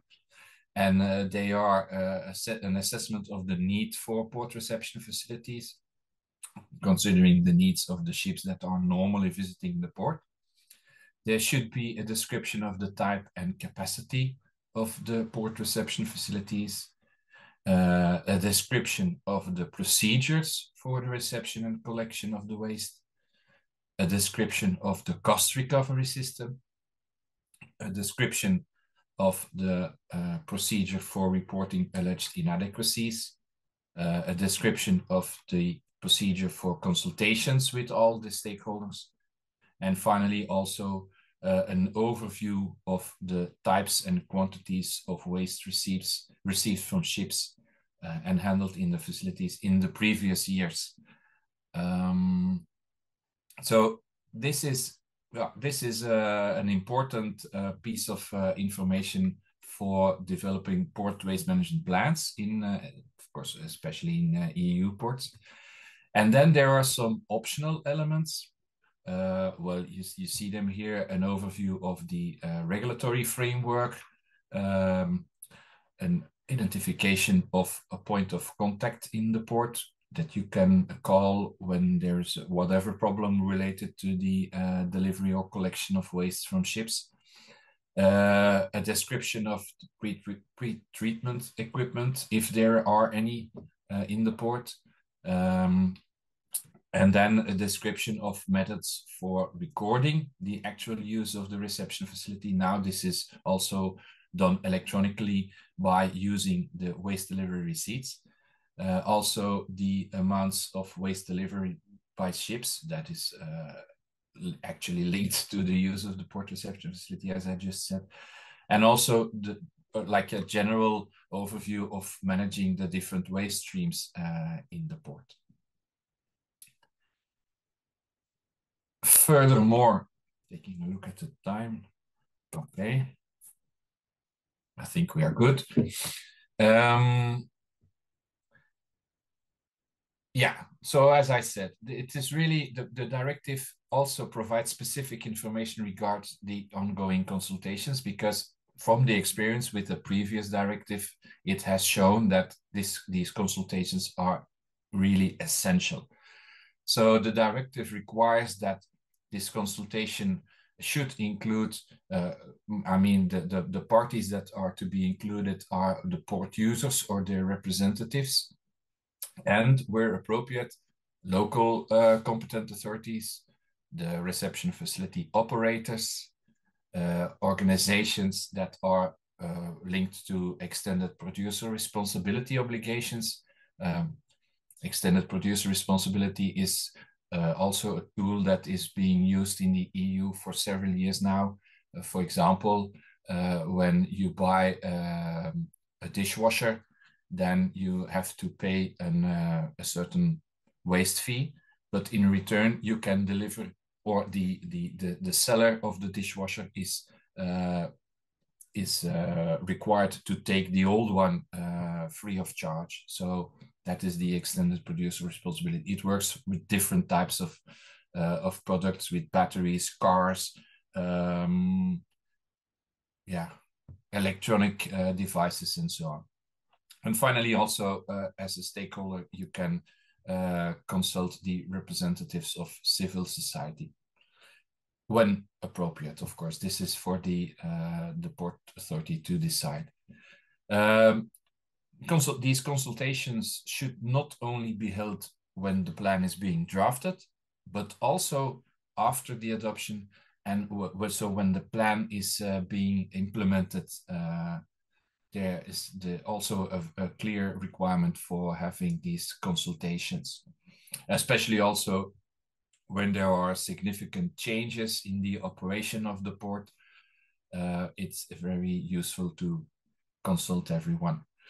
Um, the directive also uh, opens the possibility to have port waste management plans developed by several ports uh, in the same geographical region. Um, we have some examples of that. Uh, for example, the we have uh, the uh, North Sea port, which is actually three ports: the port of Ghent in Belgium and the ports of Flushing and Terneuzen in the Netherlands. So there's uh, one port authority in two different countries. Um, so there is a possibility to have one port waste management plan for these uh, three uh, ports. Um, there is also one in Scandinavia with uh, Copenhagen and uh, Malmö. Also two ports in two different countries, but one port uh, authority. Um, and then finally, uh, these port waste management plans are to be evaluated and approved. Uh, so there's always a competent authority who has to um, yeah, explicitly approve these uh, these plans. In uh, in in Belgium, it is being approved by the Minister of the Environment, um, and it should be evaluated or reapproved every five years. Um, or also when there are significant changes in the operation of the port. What is a significant change? That is also up to the competent authority to decide. Uh, can be that there is a new dock being opened in uh, a port or a new terminal, which really impacts the, the general operation of the port. So then you need a new plan. Um, maybe we can, because we have scheduled uh, a short break now. This is, I can stop with this slide and then we can have a short break. Uh, I, uh, with, within the legal and policy framework, I also uh, wanted to refer to this ISO, uh, uh, ISO standard on arrangement and management of port reception facilities. I know ISO standards are in a way not really a policy framework, but I think this standard is really useful. Uh, this standard was meant to complement the, the ISO 14001, which is a, a, a very common uh, standard used in uh, environmental compliancy. Uh, so, but this uh, standard added a specific port uh, component there, so which made made it easier for ports to or port operators or uh, or private companies within a port to get this uh, ISO 14001. Um, it also and it also provides uh, a specific methodology regarding port waste management planning. Um, so that, that also may be useful to refer to this or take a look into this uh, ISO standard uh, 16304 because you also find some uh, elements of a port waste management plan in that um, in that standard ISO standard. Uh, Ada and uh, Tamara, shall we uh, have a short break now, maybe? Um, yeah, 10 yeah. minutes or 15 minutes? Uh, yeah, 10, 15 we are, minutes. Mm -hmm. Okay, because we are on time and, and I think uh, we should... Uh, maybe any questions? To... Maybe there are any questions? Yeah. There good, good suggestion. There were two questions. Ah, okay. One, one is from Adonis Tafangi from Madagascar. He asked if the port uh, waste management part, uh, port regulations, um, where is, uh, uh, yeah, is the port waste management plan uh, part of the port regulations or has it to be separated? Uh, it can work both ways. It uh, in in uh, it is in in Belgium at least it is a separate document uh, but it can be designed that it makes part of port regulations in general because uh, port, you have port regulations on many shipping related issues on ballast water on degassing or on uh, uh terminal operations and whatever uh, but it, you, you, can make the, the port waste management plan as a separate document, but linked to that to those port regulations. If they because if you make the port waste management plan a legally binding document, then in a way it is it works as a as a port regulation. Adonis, has this answered your question? Yes, very good. Thank you. Perfect. Thank you. Um, there's another one from Carolina Carlos from Timor-Leste. She said, uh, Dear Peter, could you please provide priority action to be taken on how to manage new port facilities? Uh, for your information, Tibar Bay Port are just officially run within eight months. We are planning to set our recycling plan in the facility. What is the most important point to be aware for establishing recycling area away from restricted area before subcontractor come and collect our, collect our segregated waste? That is a really specific question. but uh, what I would answer to that question is that really, because the question is about treating. It's not about the collection of the waste from the ships, but about the treatment options, which is, of course, very important because uh, if and I have seen this in in in other ports. Uh, for example, if the the the if the the the treatment options like recycling or incinerating or whatever is too far away from from the port, then this has an impact also on on the cost to begin with because you if you need to drive a few one a few hundred kilometers uh, from outside the port to have the waste being treated, that that has an impact on the cost uh, to begin with, uh, and it will also affect operations because, yeah, you will have to spend uh, more um, uh, efforts on on transporting and so on, and that is not really the the uh, the, the core business of a reception facility. So I would say that if you are thinking about uh, investing in recycling facilities, then it can be, of course, outside the port area, but not too far. And another uh, element is that it also depends on the volume of the, the type of waste that is being recycled. Um, and, and also the, uh, the municipality or cities that, that are surrounding uh, the port, because if we speak about garbage, for example, from ships, well, the garbage from a ship is not that much different from household waste. So if you put these two together, the household waste from the municipality or the city and the garbage from the ship, well, it increases the, the volume and, and can improve cost efficiency of the, the treatment.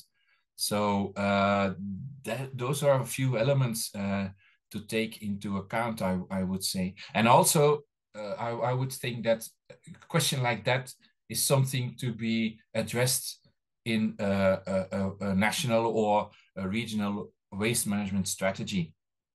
So not only seeing it for the, the shipping side or but but really seeing it as a, a general waste management uh, issue. Has this I hope yeah, I hope this is a good answer to the, to the question because it's it's a rather specific one. Okay. Are there any more questions? Uh, Carolina, has this answered your question? Uh, loud and clear, merci. thank you. Peter, thank you everyone to uh, for being back. Um, appreciate your interest. Peter, let's continue. Thank you. Okay. Thank you, Tamara. Just one thing I noticed now the, the questions that were in the chat uh, area. So I missed something from the uh, the, the Senegal uh, question. I think it's a, a, very good one because it refers to cleaning of the national uh, seabeds um, and the, the seagrass uh, beds. So uh, actually, I just wanted to add that in in several countries in Europe, we have a project that is more or less similar. It's called Fishing for Litter. So that is actually a, a program where uh, fishermen, especially uh, bottom trawlers, uh, where so they they fish on the, the the seabed, and of course they don't only catch they do not only catch fish, but they also bring up um, litter from the, the, the, the seabed. And uh, we have this, this program where the fishermen that participate in this, uh, in, in this uh, program can deliver this waste free of charge. So they are given these big bags and uh, they can use these big bags when they return to their home port. Uh, they can just put it on the on the shore side on the, the quay side, and then the bag is being collected by an, uh, a reception uh, facility. Uh, and this is subsidized by the government. So the, the type of waste is, I guess, very similar to the, the type of waste that you are um, getting with the uh, the seagrass uh, beds cleanup. So just wanted to add that we have something more or less similar. Uh, there was one more slide in the previous part that I still had to uh, discuss. It's this one. Um, you should be seeing it, I guess. It's about the management of plastic waste from ships. Um, there is a, a, specific section in, in the, the, the, guidance manual on, on the management of plastic waste from ships. In general, it, it's actually more about, you, let's say you could broaden this to all types of waste uh, from ships. Um, and the guidance document gives you specific information on the amounts of waste generated on board ships.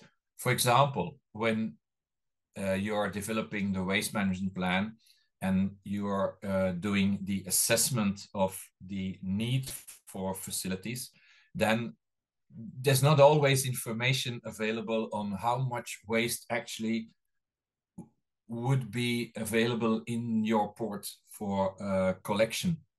And then there are some tools you can apply uh, trying to uh, calculate uh, uh, these amounts uh, of waste because of course they are impacting the, the need for the, the facility and as a result also the adequacy of the facility. So in the, the, the guidance manual, there are some some uh, theoretical tools. Um, for example, uh, if you have data from reception facilities and so on, or, and if you have data from uh, advanced notification schemes, for example, like the one in the cons IMO consolidated guidelines, then you already have a substantial part of uh, reliant uh, data. But sometimes that is not uh, available when you don't have these uh, data on previous years or, or collection of, of waste from ships. Then there are more theoretical tools.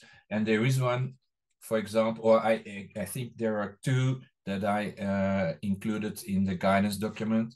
Uh, the first one is uh, about uh, the uh, types of waste that are being generated on board of a ship and the uh, the um, let's say the the the, the generators, the, the the elements that that are influencing the uh, the, the amount of uh, waste uh, on board the ship, because there are there are sometimes there are treatment options on board like solidifiers or or uh, comminutors or these compactors uh, or the ship can uh, apply uh, a sustainable purchase policy, for example, when the ship, uh, when supplies are being delivered to the ship, then they can have an agreement with the supplier that they also take back the packaging, uh, which uh, significantly reduces the amount of packaging material on board of the ship. Uh, so all these elements they uh, impact the amount of waste uh, on board of the ship and also the amount of waste that is being delivered to a reception facility. And there is also in the guide, uh, guidance document um, information where you can calculate the uh, amount of waste depending on the type of the ship. So you have some examples there, uh, the number of persons uh, on board, and the duration of uh, the voyage because of course that also implement uh, impacts the waste generation significantly so that are tools that can be used uh, for calculating the amount of waste to be delivered in your port uh, I also think uh, it is important to bear in mind the the fishing gear as I said multiple times already the fishing gear really is a, a, a big problem. Um, also, the issue of segregation of the garbage. Uh, there are recommendations for uh, segregating garbage in the MARPOL Annex 5 implementation guidelines, uh, which, of course, segregation of waste um, facilitates recycling options. Um, so that is also an important issue. And then finally, uh, I, I wanted to refer to the waste uh, hierarchy uh, when it comes to treatment uh, options. Um, and yeah, well, final disposal is uh, is something that still happens a lot, uh, but is not really preferable. Um, and especially recycling or at as a minimum, uh, incineration with uh, energy recovery is uh, more uh, preferable. So um, yeah, this, that is what I wanted to say about this uh, last issue. Um, yeah, in, in the, the guidance document, there are also several uh, references to the, the prevention and recycling options, waste to energy, uh, etc. And also to the, uh, the, the issue of passively fished waste, which I also mentioned in uh, in uh, when answering the, the question from uh, Senegal there. Um, so that is more or less uh, similar. So, okay, I will now go to part three of the uh, presentation. Uh, Peter, is it possible Yes. to to widen the um, your presentation? Yes, it's you not, don't it's, see it? It's it's not showing as it should. Okay, I will Uh, stop unless again then. At least on my my um, yeah. Sorry. Just a second. Part three.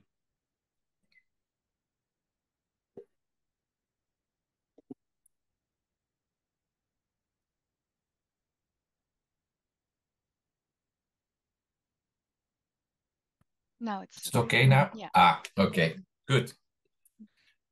So now this this uh, third part actually uh, is, yeah, you can say this is the main part or the, the most important part from um, from the the whole webinar, uh, because now we really dig into the elements of uh, a port waste management plan.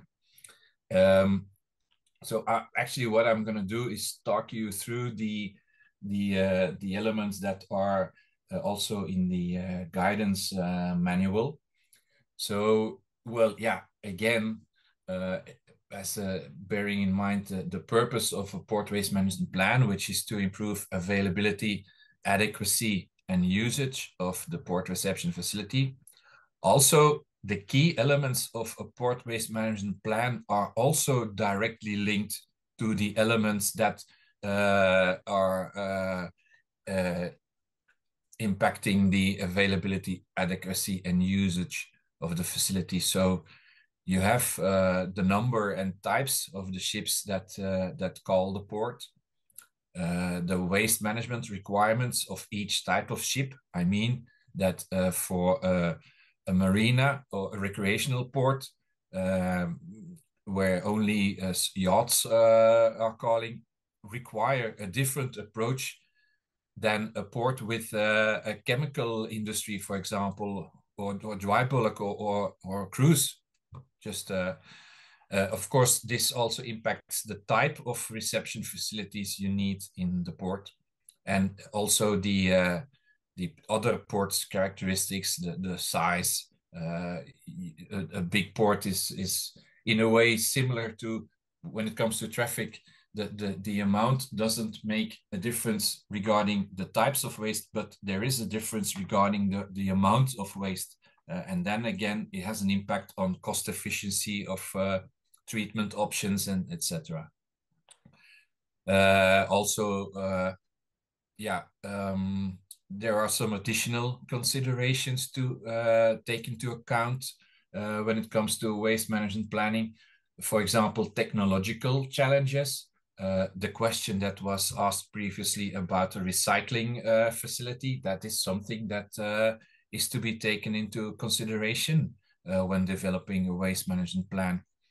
Um, uh, for example, also if you have a port in an industrialized area where there's a lot of land-based facilities and, and, and industry, in general, there is already a lot of waste management uh, infrastructure in those uh, uh, industrialized areas available, which can also be used in in the port. So that can all that that will also influence the development of a port waste management plan. Also, issues related to the local waste policy uh, will impact the port waste management planning uh, as I said, local regulations, local strategies, etc., can be uh, issues that uh, also uh, uh, affect have an effect on waste from ships, and in that case, they should be uh, taken on board of the waste management plan as well. Uh, specific geographic situations. Uh, the, I, I, put here the example of the the SIDS, the Small Island Development States, uh, also the Arctic. Uh, these are two uh, specific uh, geographic situations where also MARPOL has foreseen possibility to address waste management or provision of uh, port reception facilities on a regional scale. So that is uh, also uh, possible where not every port needs to have, let's say, the full scale of uh, reception capacity or whatever, but this capacity can be reached on a, a, re a regional uh, scale. Also, the um, the special areas, for example, they also impact the need for reception facilities and as a result also the waste management planning. Um, now there is uh, i think from 2025 there is a new special area. Uh, it is it the the Persian, uh, the, the the Red Sea or the, the the Persian Sea and the Gulf area there. I think um, um there's a new special area for MARPOL Annex Five, so uh, the uh, uh, the the the countries in that area, the MARPOL, the parties to MARPOL in that area, to MARPOL Annex 5, they will have to look into the maybe an increased need for reception facilities because in special areas, discharge requirements are more strict than in non-special areas, which may lead to uh, uh, a higher need for uh, reception capacity. Uh, specific port characteristics may also impact uh, the need for reception facility. For example, uh, seasonal impacts like cruise, uh, they, they are general uh, cruise uh, or cruise ships calling the port are linked with the tourist season. So you can have that the, the case that in winter time, for example, there is less uh, not as big need for reception capacity than in than during tourist uh, season. And then finally, also the question which I so or, or an issue that I already started uh, with uh, in the beginning of the, the presentation is what is how do you see the port waste management plan? Do you see it as something that is a, a, a requirement a legal requirement that is to be fulfilled, or do you really see it as a, a full compendium where all the information is uh, collected, and as a result, it can be used like a, a full guidance document? So this also will have uh, an impact on the development of the plan. Uh, and then we go to the uh, to the elements uh, because I will make a distinction between really basic elements that, in my view, are to be a part of every port waste management plan and other elements that can be seen as optional. Uh, so, but we will discuss that later. A first big question also uh, is to uh, who is to draft the port waste management plan? Uh, actually, this can differ from one country to another. Um, and but in in principle it has to be decided by the competent national uh, authority. So um, in uh, uh, yeah so the, the national competent authority is to uh, put it in in the national regulatory framework which procedures are uh, related to the development and also approval and renewal of the port waste management plan, and also who is to draft the port waste management plan. And also this, this can differ. Uh, for example, uh, in, uh, in here in Belgium, we have for the merchant seaports, clearly it is in our regulations that the port authorities are to develop the port waste management plans. But for uh, recreational ports, for example, the, uh, the, the, the system is somewhat different because we don't always have like a port authority for recreational ports, but it's the the the uh, yacht clubs actually. So the the the the, the um, the organizations that operate the, the, the recreational port are to uh, develop a port waste management plan. Uh, for fishing ports, again, it's even different.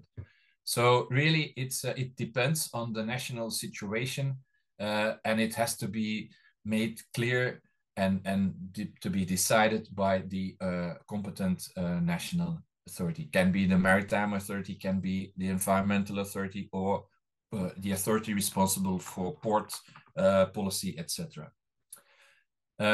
and also, uh, as I said, in like in, in Belgium, for example, uh, we make distinction between the type of uh, the port because sometimes in a port and, and and again this depends on the way how the port is organized or the um yeah within the uh, organizational national organization how the the ports are organized you can have the case that there are independent entities within a certain port. So, for example, uh, in Belgium, we have uh, several ports where the merchant seaport, the, there's also a fishing port and a recreational port within the same port area, but each of the three, they are uh, considered to be independent areas.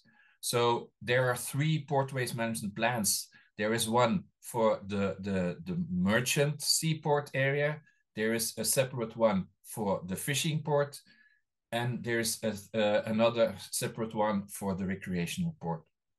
So each of these independently managed areas uh, can also be a, a, like a terminal, for example. Uh, so they uh, can draft their own plans.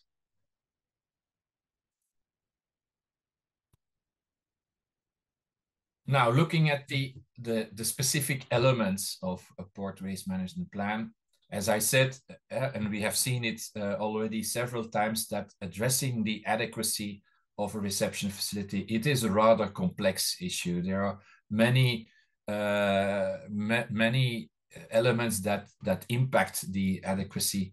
So also the, the elements that you have in a port are linked to this uh, uh, adequacy issue are also uh, co uh, complex and, and can be very uh, difficult or different. Um, so uh, yeah, well, we have discussed this. The the ports and port users characteristics can change very much between different ports.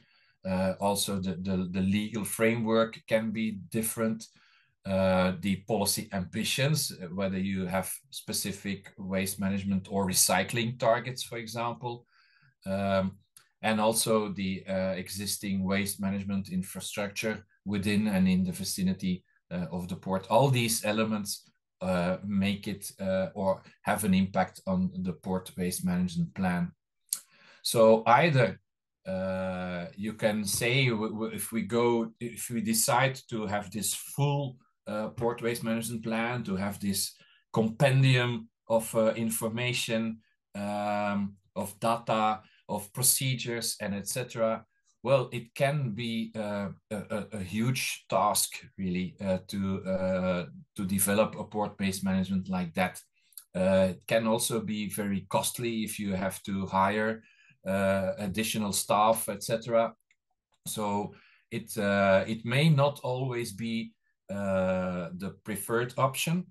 Uh, and an alternative in that case is to just take out a few essential elements that are really uh, forming the basic uh, port waste management plans. So in the guidance uh, document, you will see that uh, there is clearly a distinction being made between the, the key elements of a basic port waste management plan and some of the more optional uh, elements. And now I will talk you through the uh, the elements, the, the, the key elements of uh, a basic port waste management plan. So uh, just uh, an overview here, and then we will go more into detail. So in, in, in our view, the basic elements are the purpose uh, of the port waste management plan, the scope of the port waste management plan, an overview of available port waste management plans, uh, sorry, port reception facilities. And here you can make, as I uh, also said, you can make a link with the IMO GISIS uh, database. Uh, also, the assessment of the need for additional port reception facilities. This is really an important element. And then uh, procedures related to the delivery and the collection, such as the advanced waste notification, uh, the, the use of waste delivery receipt, and in both, uh, both documents, the, the plan should contain information about what information is to be uh, exchanged and who who has to do what, etc. Also, the cost recovery system, when you have one in your port, this is really an, an, an important element. Stakeholder consultations, it's uh, always the same. I, I, I, repeat this because it's really so important. And also uh, uh, the reporting of alleged inadequacies is, is really an important element. So talking about the purpose of the port waste management plan, again, it's to improve availability, adequacy, and usage of the port reception facility for the waste from ships normally calling the port, again, important, um, in order to protect the marine environment by reducing discharges into the sea of waste from ships, and that also includes cargo residues. It's always useful to clearly have this purpose mentioned in the port waste management plan to make it clear what is this all about uh, and, and, and what's the main goal. So its objectives are to reduce illegal discharge of waste from, vessel, from vessels, to comply with legal duties uh, regarding waste management, to consult with all the, the, the stakeholders and, and uh, the users uh, of the port, um, to prevent the production of waste wherever possible, and to reuse or recycle waste wherever possible. Of course, as I said, this is not carved in stone, eh? so it really depends on, on your, your national situation, uh, on the ambition level of the, the plan, uh, on the available facilities, uh, etc. So, but I think in in any case, when developing a port waste management plan, it is important to make sure of its purpose. A second very important element of the plan, in, in my view, is the scope. Uh, it is really essential to, to, to make clear, first of all, to which vessels the, the port waste management applies, and as a result, of course, also to, to which not. Um, so, uh, and also the port's geographical and juridical boundaries. Um, when talking about the types of vessels, it is important to, to mention because sometimes, eh, I gave the example already from the, the three different ports uh, or the three different types of vessels within the same port area with the merchant seaport, the fishing port, and the recreational port. So if you develop a plan, you have to make clear to which vessels uh, the, the, the plan applies. Sometimes specific types of shipping are excluded. Uh, of course, we have the warships, which is very commonly uh, used in, in all types of uh, uh IMO uh, uh, regulatory framework. So it makes sense that if warships are excluded, that also in the port waste management plan, it is clear that warships are not included. But sometimes there can be other types of shipping. For example, inland navigation. Uh, we have in uh, in Western Europe a specific regulation uh, or it's a, convention on waste from inland shipping with a total different approach, uh, differing from seagoing vessels. So clearly, also in the plan, we have made a distinction saying inland navigation is not within the scope of uh, of of the the plan. Um, ships that are government owned uh, are excluded, for example.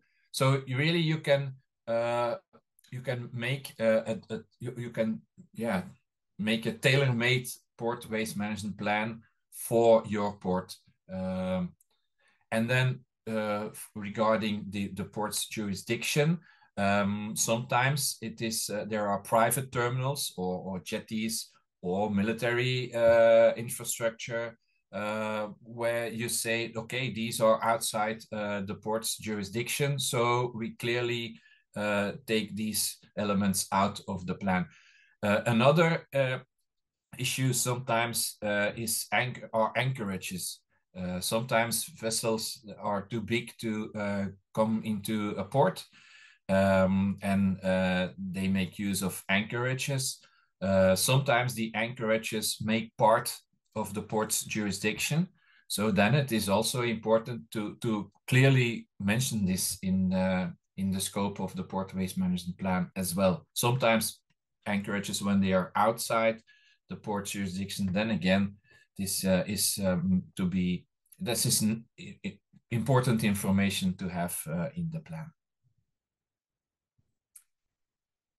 Um, yeah, of course, the overview of available reception facilities, obviously, that uh, should be there in uh, a port waste management plan, uh, a contact list of all the, the uh, available facilities, a short description and an indication of their capacity. And again, you can use the GISIS database uh, for this, but it's not necessary. and then also, if there are specific uh, issues related to the availability of the facility, for example, yeah, pumping capacity uh, or opening hours or whatever can be essential or, or necessary information, then this is to be put in the overview as well. And then linked to the, uh, uh, the, the information of available reception facilities, there's also uh, the assessment of the need for additional reception facilities, or even you can call it differently, an assessment of the adequacy of the existing facilities. That uh, that is really uh, an important element there.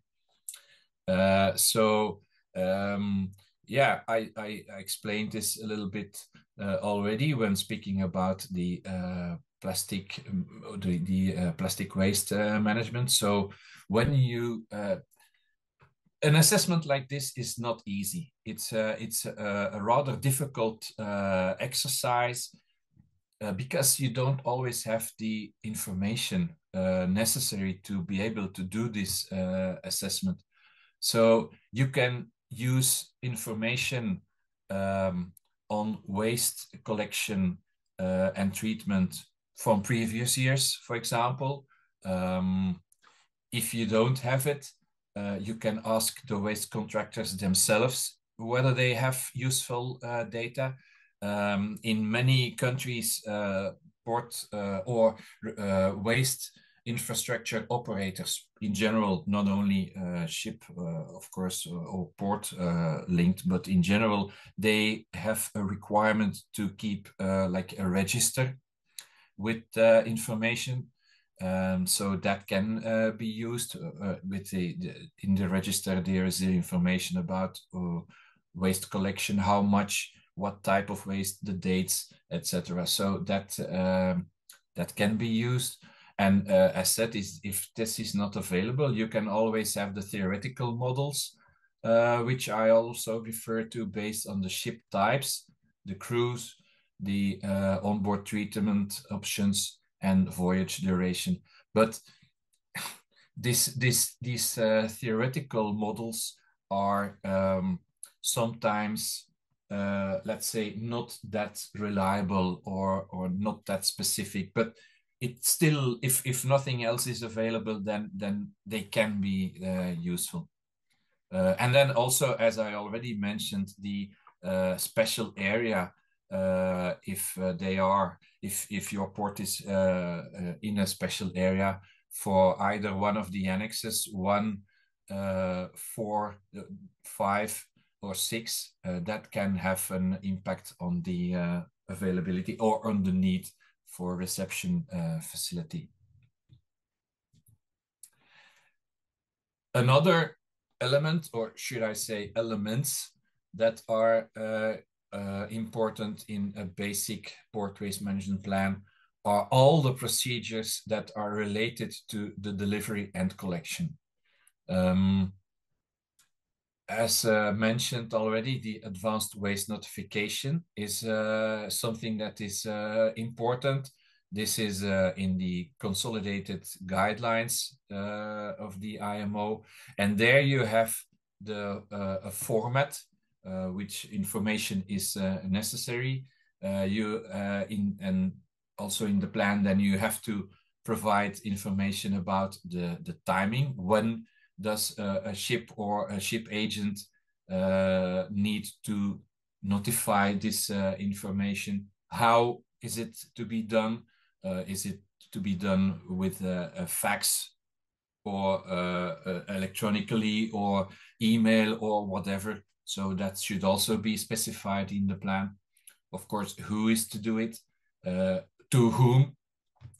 in, in, in some cases, for example, this advanced waste notification is to be sent to the harbor master's office, but in other cases it can be the environmental department or whatever.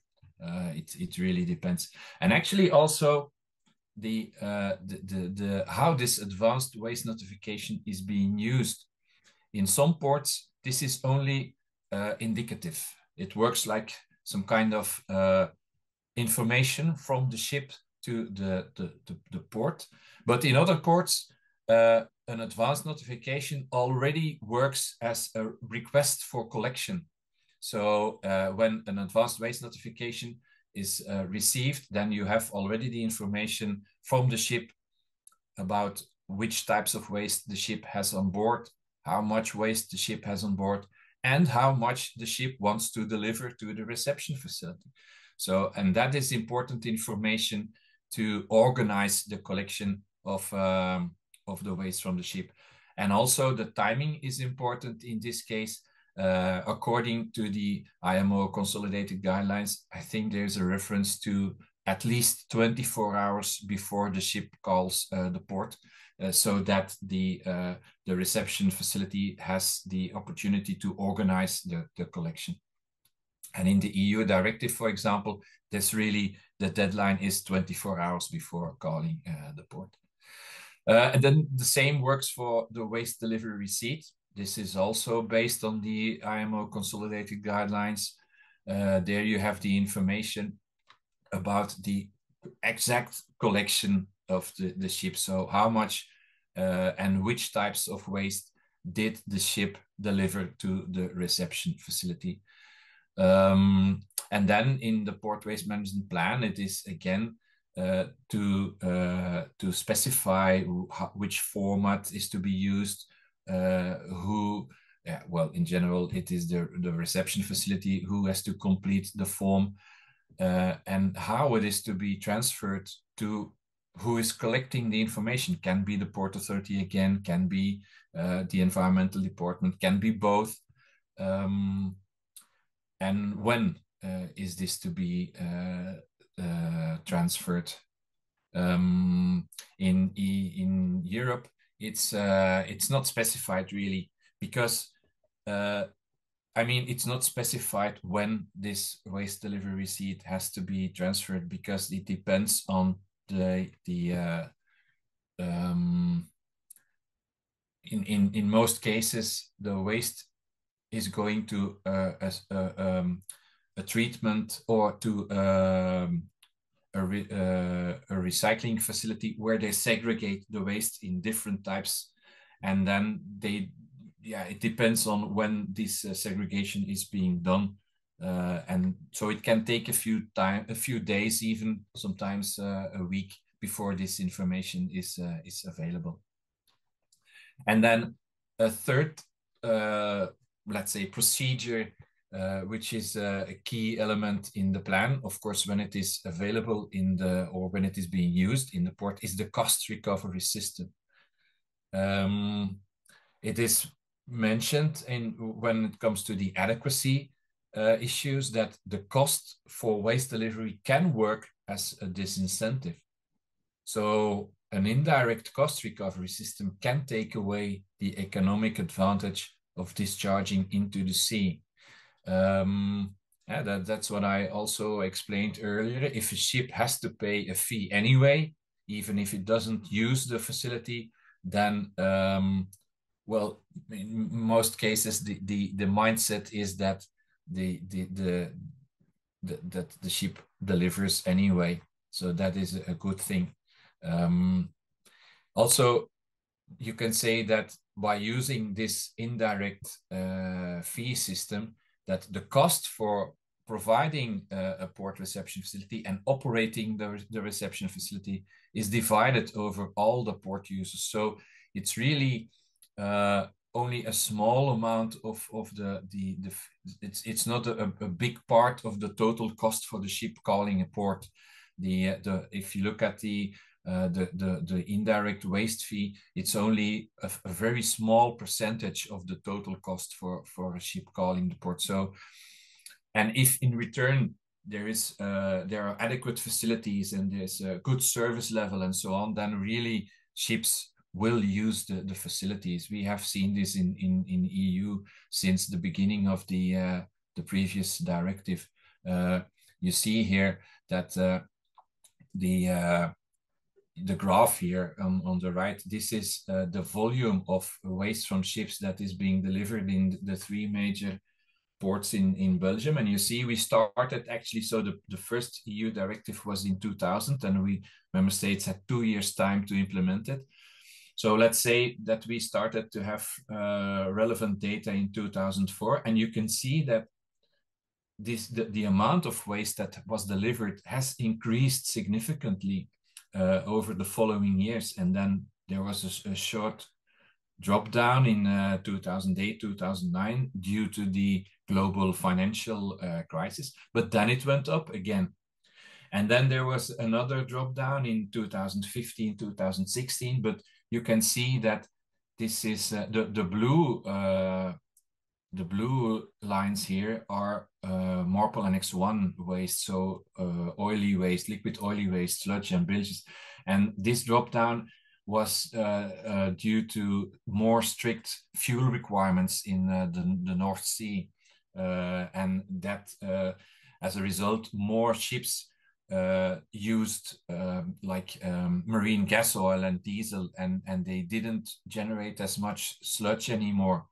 So that's this is also this also affected uh, the delivery, of course, to port reception facilities of MARPOL Annex 1. But for the other annexes, it it still uh, went up. So clearly it's and and also uh, uh audits in uh, in EU member states clearly indicated that the this uh, cost recovery system has impacted the delivery.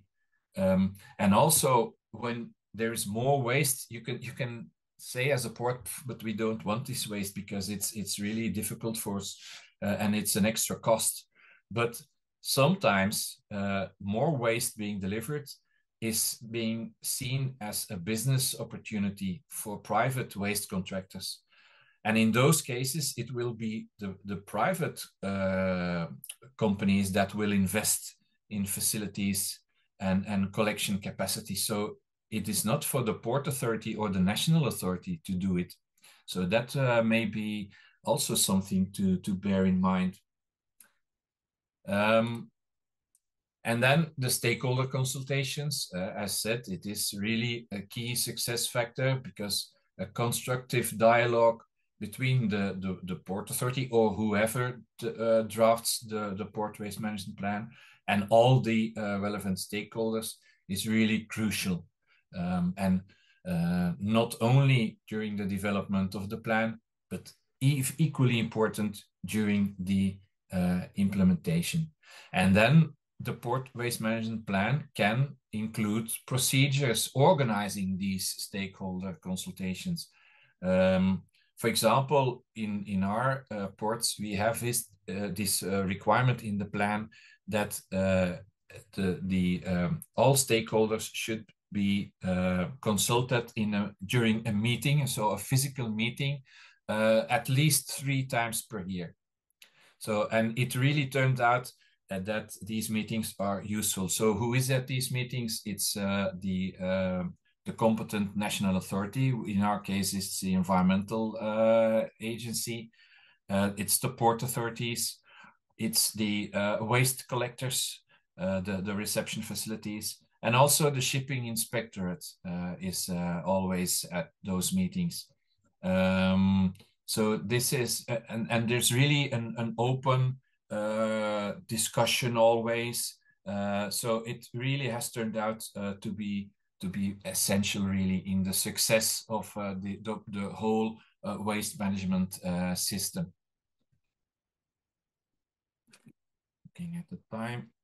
Okay, nearly there. And then uh, finally, also in the basic port waste management plan, it is important to include a system for reporting alleged inadequacies because it's really important to have these this information because as a port authority sometimes you you you, you don't always know about inadequacies uh, and it, it is only being uh, highlighted or, or signaled uh, when when uh, a ship is uh, reporting something that may not be correct or, or may not be uh, fully in line with with the requirements.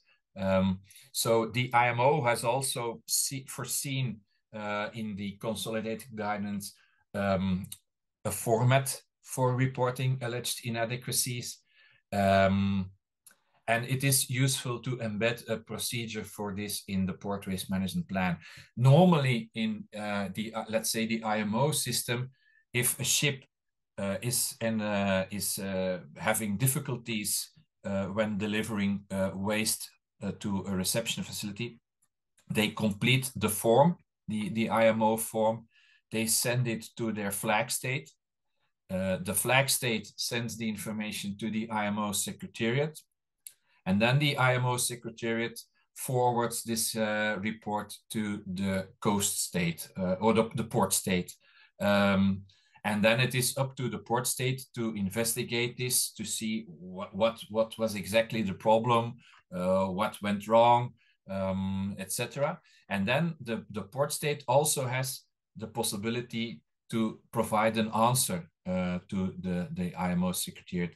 And then this uh, information is also being uh, completed in the GISIS uh, database, where you have a section on reports of um, uh, alleged inadequacies. And then you have there all the information, including the response of the, the port state. Um, so it, it is uh, really useful also to make a reference to this procedure in the port waste management plan. And in addition, as a port authority, for example, you can add a, also a direct uh, or, or, a possibility to directly report this uh, alleged inadequacy to the port authority. Although we have this included in the plan, but we never had uh, a ship reporting directly to the port authority a problem with the reception facilities or a non-adequacy of the reception facilities. This may be, of course, that uh, that this may mean that our reception facilities all are fully adequate. However, I think that the reason for it is that ships or ships agents are not very keen on uh, on um, complaining directly to the port authority uh, in the port they are working in on a daily basis. But still, uh, it is uh, uh, useful to have it in the plan. And then there are some so-called optional elements um, of a port waste management plan. Uh, I can I did not provide any specific information in this presentation, but it's all in the, the guidance uh, document. Uh, for example, a brief description of the port is something that is uh, useful in the, the plan, especially when the plan is being used as a, a compendium with uh, all the information available. Um, an overview of definitions. Uh, it, it, I, I had some doubts whether this could be even uh, a basic element uh, or an, an, essential element in, in a basic plan. Um, but again, this depends on, on the national situation or the, the local situation. Uh, for, for example, uh, uh, definitions can be clarifying ship types or waste types um, or for example, uh, there's also in the the the, the, the another bullet there on exemptions uh, where ships, for example, ferries or other ships that are in a, a, a, a strict schedule uh, that are frequently calling uh, your port, you can have exemptions for those types of ships. Well, it can be useful to include in the definitions, for example, what is a frequent caller? Uh, in, in, in EU, uh, it is uh, a ship that is calling the same port at least once every two weeks.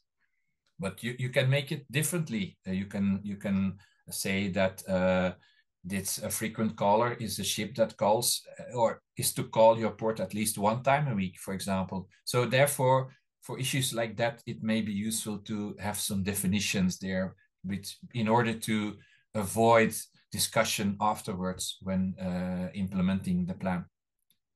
Also, an overview of the regulatory framework may be useful in the plan uh, because not every stakeholder is uh, aware of all the uh, legal requirements related to waste from ships because there are different angles there. You have the, the, the maritime uh, regulatory framework and MARPOL and, and all that is uh, linked to that. You also have land-based uh, regulatory framework for waste uh, management. Uh, how how is waste to be treated? Do you need specific permits? How about collection and transporting the waste? You you need identification forms, etc., etc.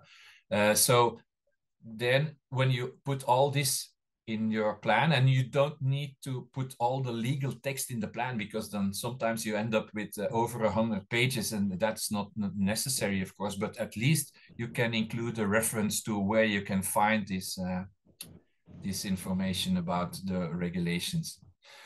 Some um, uh, references to record keeping uh, may be useful. Uh, as said um, reception facilities it's, it's uh, as a port authority it's important to have that you have the uh, re uh, relevant and reliant uh, information about how much waste is being collected and so on and which types of waste. So you can put in the plan some requirements for the, the, the, the waste contractors that they that they do a good record keeping, that they have registers and and uh, uh, record books and so on, in order to uh, be able to use this information not only for statistics but really for assessing the adequacy of the facilities. Uh, exemptions, if you apply such a scheme, then of course it makes sense to, to put it in uh, the plan. And finally, also the, the monitoring and, and enforcement.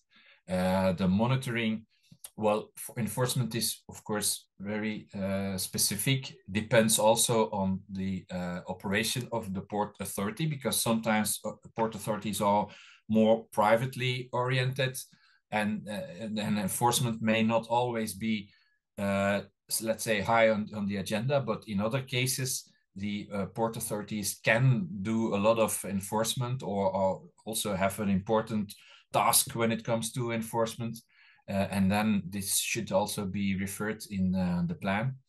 And monitoring that is uh, more to do with having well having the, the, the correct information also. For example in, in, in our ports we have uh, everything is being done uh, electronically. So there's no um, paperwork being exchanged and so on. Um, and then it is important to have this in the plan. Also who has to do what uh, who is to uh, report information to which database etc so clearly, again, this this is the last the last slide of this uh, third part. Again, I, I would like to repeat that this is not carved in stone. This is not uh, strict uh, to be applied strictly. Uh, this is all information that you can process and, and digest and, and pick out the things that are useful in your uh, port. So this is the end of uh, of part three. We are still uh, on track, I think.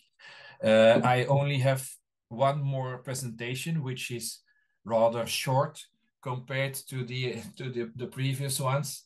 So I suggest that um, I go on with the, this last part.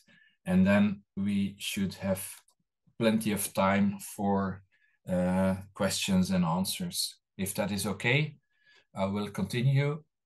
Yes, uh, please, Peter. Thank you. Thank you.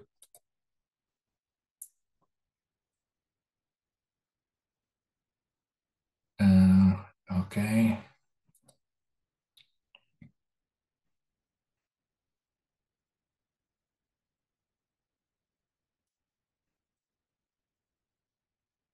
Is it again? Yes. Ah, okay. Okay, so one last uh, effort uh, also for the translators. Uh, thank you for being so uh, patient uh, with me. Um, so there are a few more issues I would like to point or uh, yeah point out. so one of them is I call it flanking policy measures. Um, what I mean is that uh, waste from ships is is not only to be seen as as a very uh, specific waste type of waste or waste stream that is to be kept separate from all uh, other waste management issues. No, it's it's rather the contrary. Uh, it is really important to integrate the, the, the management of waste from ships in, in a wider uh, waste management strategy. Um, and also in the, the, the guidance document, there are some elements addressing this. Uh, for example, when it comes to waste prevention and minimization, um, for ships, it's not always simple to to prevent uh, or, or, minimize uh, waste because they well, they don't always have the uh, storage capacity, for example, to to to to separate uh, separate different types of waste.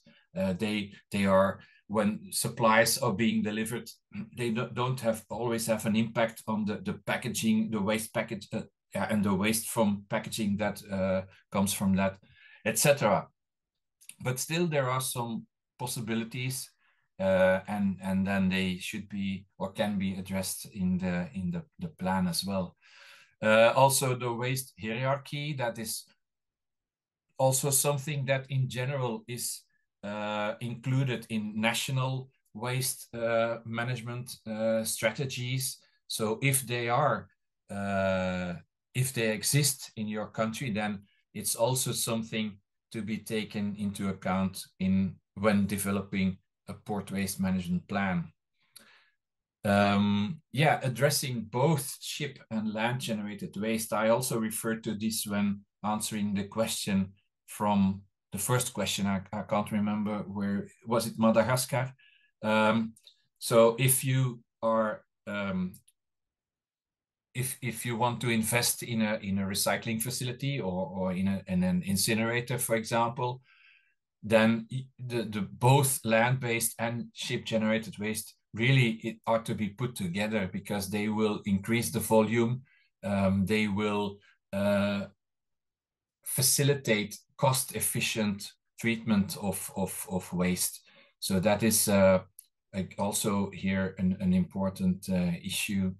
Um, then also cooperation between ports for the provision of reception facilities. That's what I said when um, referring to the, the small island development states, for example, or the ports in the Arctic, uh, that it's not always, also for smaller ports, for example, it's not always necessary to invest in, in, uh, in uh, waste collection capacity for all types of waste. Um, I've seen it in, in the Caribbean, for example. There is a, a waste management, a regional waste management strategy where for cruise vessels, because they mainly or in general they have one home port where they go to, and then it's not always necessary to have full uh, capacity in all the other ports that are on the ship's uh, route. So this is uh, something to take into account. And in, in that case, it may be useful to cooperate between the ports when developing a port waste management plan. Um, the issue of circular economy that in a way is linked to the waste hierarchy and the waste prevention and minimization issue as well. So Uh, circular economy is uh, something that is on, I think, every uh, competent or environmental authorities agenda uh, these days. So more and more countries are uh, focusing on circular economy or, or, or developing strategies facilitating circular economy. And uh, in that case, uh, it may be useful to refer to it in the port waste management plan as well. And then finally, incentivizing the segregated delivery of waste. As said, uh, segregating waste in general uh, improves options for recycling. Um, MARPOL does not have a strict requirement for segregating waste, although in the uh, guidelines, in the, the MARPOL Annex 5 implementation guidelines, there is a reference to segregating different types of waste. So, and, and even though it's not a strict requirement, in our ports, we still see that more and more ships are segregating their waste. Um, and then it, uh, but they don't always segregate it in the same way. So some uh, ship operators, they segregate several types of waste and then other ship operators, other types of waste. So it may be useful to, in, to, to, um, to, to streamline this in, in, uh, in your port uh, and then the port waste management plan may also be um, a useful tool. Uh, and then finally, yeah, regional port waste management plans. I also referred to that already. Another issue uh, that I also touched upon briefly is the approval and review uh, issue. As, as I said, it is preferable actually to make the plan a legally binding document because in that case, it's uh, it works also as some kind of a, a port uh, regulation that also referred to one of the questions being asked. Um, it it is it is it can be optional because it depends on the on the uh, on, on how it is organized in in your country. Depends on the national regulatory framework. Um, it can also depend on the the type and size of the port. Uh, for example, if you uh, some Belgium is only a small country, but in other countries which are really big, with uh, hundreds or, or thousands of ports, from uh, big ones to the very small ones, maybe you can set up some kind of a threshold level, where you say that ports bigger than a minimum uh, size are to uh, have a port waste management plan, which should be uh, formally approved by whoever, competent authority or the minister or whatever. And ports that are below the threshold level, uh, small ports uh, or even recreational ports or whatever, it's, it's, uh, it all depends. You can say they uh, are to develop a port waste management plan, but it should not be uh, formally approved because of course, if you have thousands of recreational ports, it's a lot of work for the administration as well. And you don't always have the resources for that. So, um, for example, in Sweden, in Scandinavia, they have this requirement that small uh, ports or jetties with only a few uh, vessels, for example, they need to have the plan available for inspection, but it's not formally uh, approved. Uh, and then uh, who is to approve it? It can be the maritime authority, can be the environmental uh, authority. Again, this is up to the the national situation. And then, if it is uh, formally approved, then uh, in in principle, there's also to be a revision or a reapproval process of the the plan. So um, uh, the uh, assessment whether the plan is being implemented effectively, well, in general, this is a, uh, an ongoing process. It's not something you do after three or four years. Uh, and also in this case, the stakeholder consultation process is extremely uh, important. Uh, of course, it, it makes sense that the port waste management plan is to be kept up to date. So also here, if there are significant changes, then uh, the port waste management plan is to be uh, updated. Also, for example, the tariffs, if uh, uh the, I mean the, the, the waste fee, uh, referring to the cost recovery system, in, in general, these uh, in, indirect fees are to be reviewed on a yearly basis.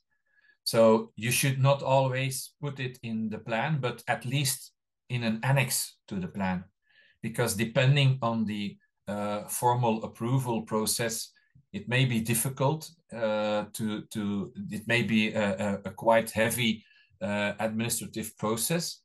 But if it is in an annex, sometimes annexes can be amended rather easily. So uh, then it may be useful to to put it um, in uh, in an annex. Uh, and then yeah, when to do this this review? Well, at least I would say every three or five, uh, three to five years. Um, yeah, then I have in, in the guidance document also made a distinction between different types uh, of ports and you can use different models. Uh, for example, um, as said, these ports characteristics, they can change uh, very much between ports uh, and they also impact uh, the uh, need for reception facilities and as a result also impact the development of the plants.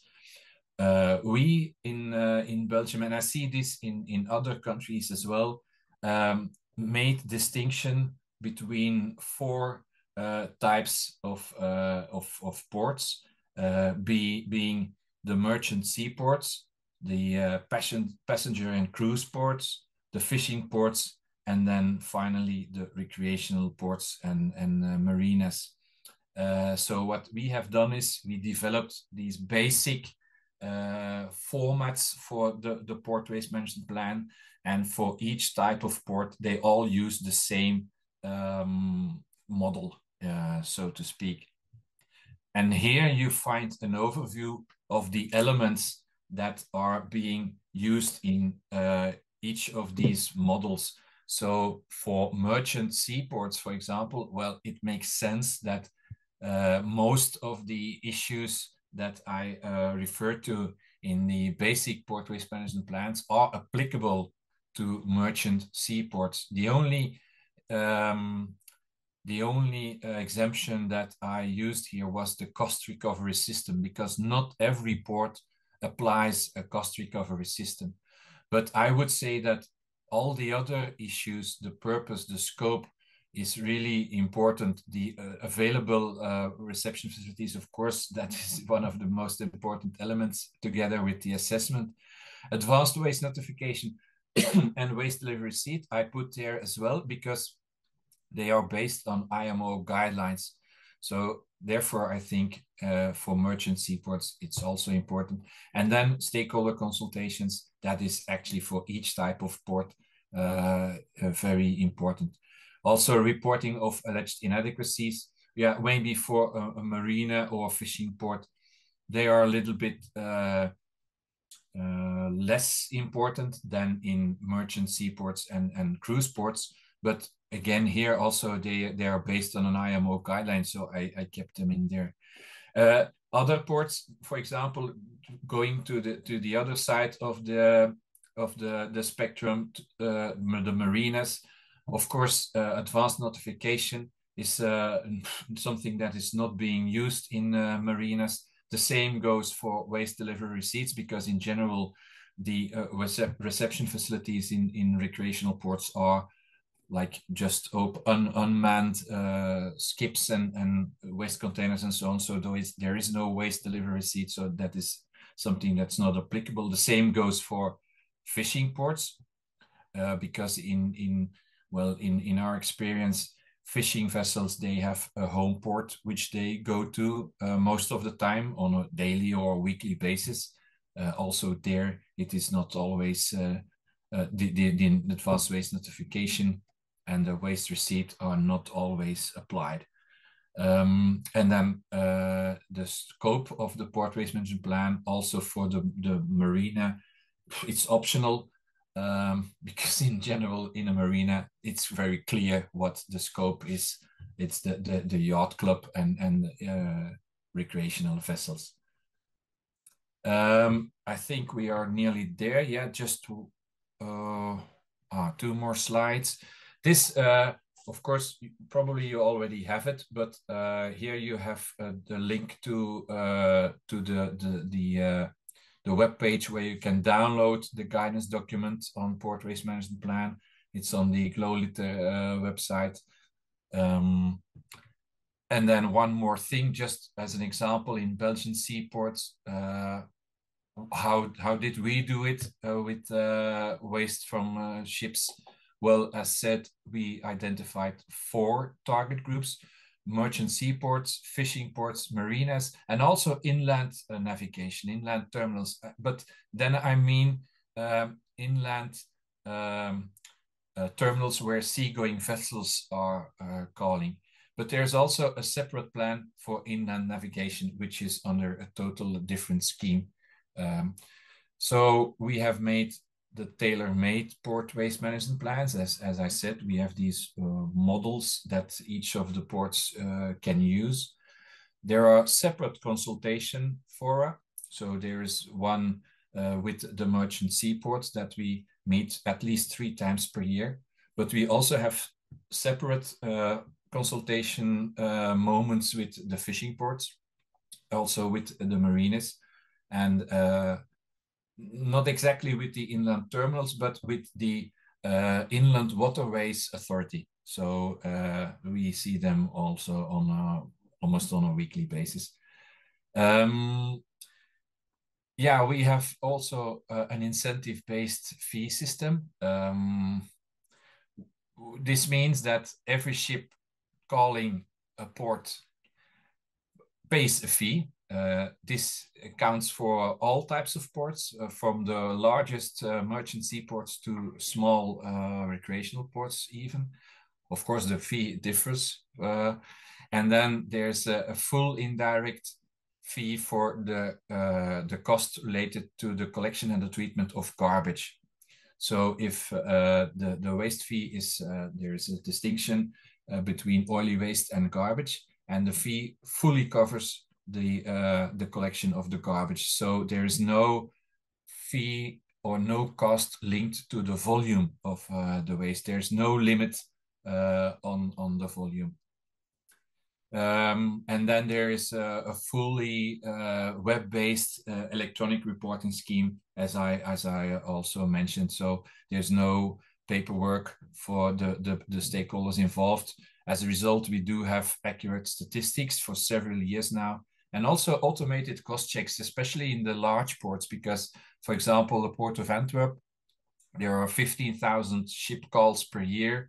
Uh, it's not possible to do this uh, on a on a case by case uh, these these checks so they are also integrated in the in the database so if there is for example if the ship notifies in advance that it wants to deliver 10 cubic meters of uh, of plastic waste and uh, based on the so that, that goes into the data system and also the waste delivery receipt goes into the data system uh, from the reception facility and if there is a, a difference more than it's 10%, I guess, or 15% between what the ship has notified and between what the port reception facility has notified. There is an, an automatic alarm being sent out to the port authority so they can see what what is the problem. Why did the ship deliver uh, less waste than it has uh, previously indicated? Uh, sometimes it can be that it's just a, a typo or whatever, but sometimes there's also yeah a need for for an inspection really this is my last slide actually so uh, you have my contact details here as well um, in case if if you would have additional questions we, we have now time for question and answers of course but if tomorrow maybe or next week or next month whenever you have a, an additional question you can uh, you, you can always contact me and uh, hopefully I can uh, answer your question. Okay. Tamara, the floor is yours. Thank you so much, Peter. Um, as always, very um, interesting and informative sessions that you run.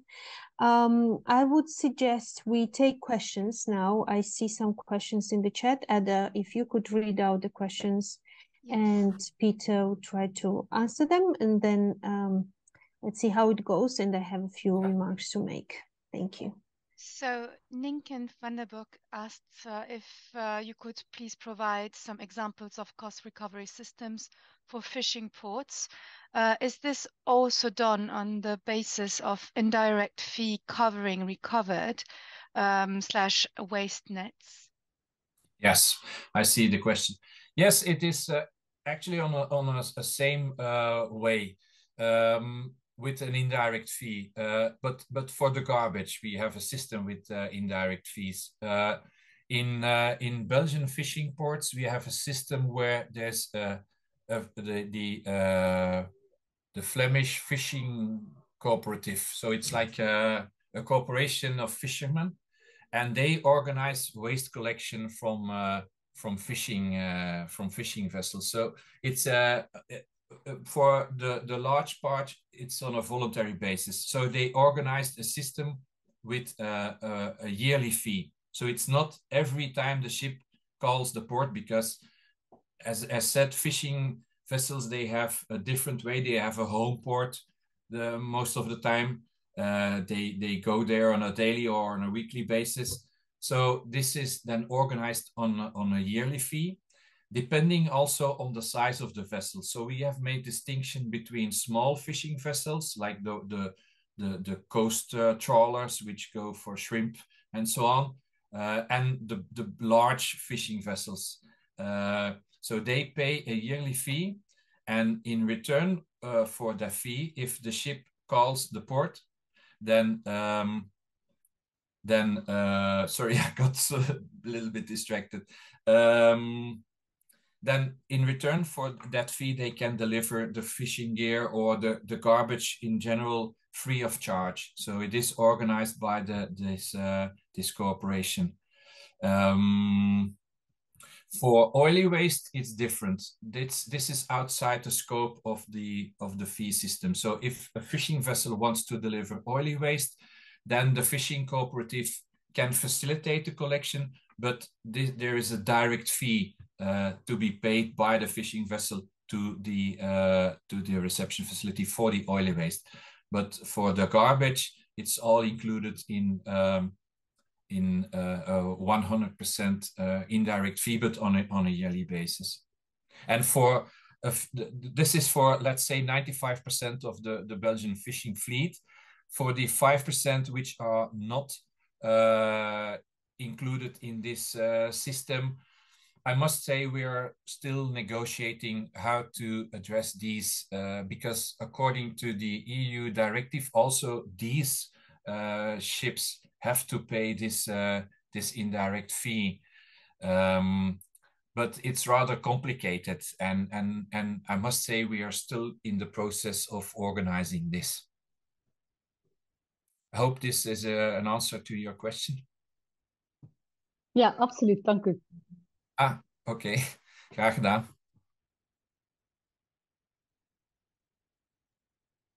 Any other question? Please feel free to raise your hand. You have this opportunity to unmute yourself and raise your hand, please.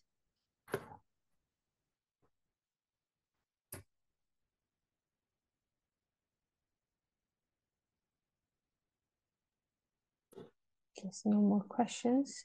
There are questions about the PowerPoint slides. Um, they, they have been already in the chat. Um, Ada sent in a chat uh, there are four sections as Peter presented, so four different presentations, both in English and French. Um, they were, but they will also be sent by email. Ada will send later by email. So these slides are available in three languages, English, French, and Spanish. So you'll have access to them and you'll also have access to this um, recording uh, should you uh, would you if you like to refer back to it um, any questions before we start closing No, okay, excellent. That was a Peter. That apparently was very clear presentations, but um, it's a lot. It's a lot to digest, also. I know, I know, uh, but it's very interesting. And what I want to uh, mention is that tomorrow we'll have another session, uh, but it will be a diff uh, different time. It will be from 1 p.m. to 5 p.m. Uh, British time, so Greenwich time. Um, and that will be interpreted to Spanish just to meet the um, time zone of our Spanish speaking countries, but also English speakers, please welcome, well, French speakers, please welcome to join again. You are very welcome to join as many sessions as you like, but it is the same content. Um, that will be also recorded for the future reference. Uh, what I wanted to say is um, these are uh, webinars, meetings, uh, trainings that give you the introduction. What is the port waste management plan all about, what you need to consider, the details, and Peter very well walked us through uh, the main components and requirements. Now, GloLitter Design has um, opportunity for the countries to receive support to develop their national port waste management plan plans. And next year, we under the uh, under the scope of GloLitter, uh, we are able to select five countries that we support. We will support with developing port waste management plan, and Peter uh, kindly will lead that initiative. But it will be next year and most probably in 2025 so five in total for now that's what uh, our budget and scope allows and timing as well and the idea will be with uh, for Peter and um, IMO and FAO work together with national authorities uh, to uh, to go deeper into what's required for the uh, port waste management plan, how to do it, and actually customize it for the requirements of the country and that specific port. That will be um, forthcoming uh, next year and that's why it was important for to have um, our counterparts and stakeholders from um, ports and uh, shipping and fisheries authority to have these introductory um, sessions with Peter. That's uh, it for me. I would appreciate. I, I, I really appreciate your timing, um, Peter. Of course, um, as always, uh, pleasure to listen to your sessions. Um, our countries, our partnering countries, our lead partner countries for joining this session. As always, we look forward to partnering with you uh, on different topics related to sea-based marine plastic litter. Um, Ada, appreciate your support to run this uh, session smoothly. And very important, uh, thank you our interpreters. Um, I hope it went well. I was listening, trying to understand. I'm uh, what I can understand. It went very well. Um, and I look forward to meeting you again tomorrow or um, and new participants as well. Any final comments, Peter? Thank you from my side as well, and especially also the the interpreters uh, for for bearing with me, and also to the uh, participants for your interest. And I wish you all good luck with the development of uh, port waste management plans. Thank you so much, everyone. Thank you. Thank you. Bye. Bye.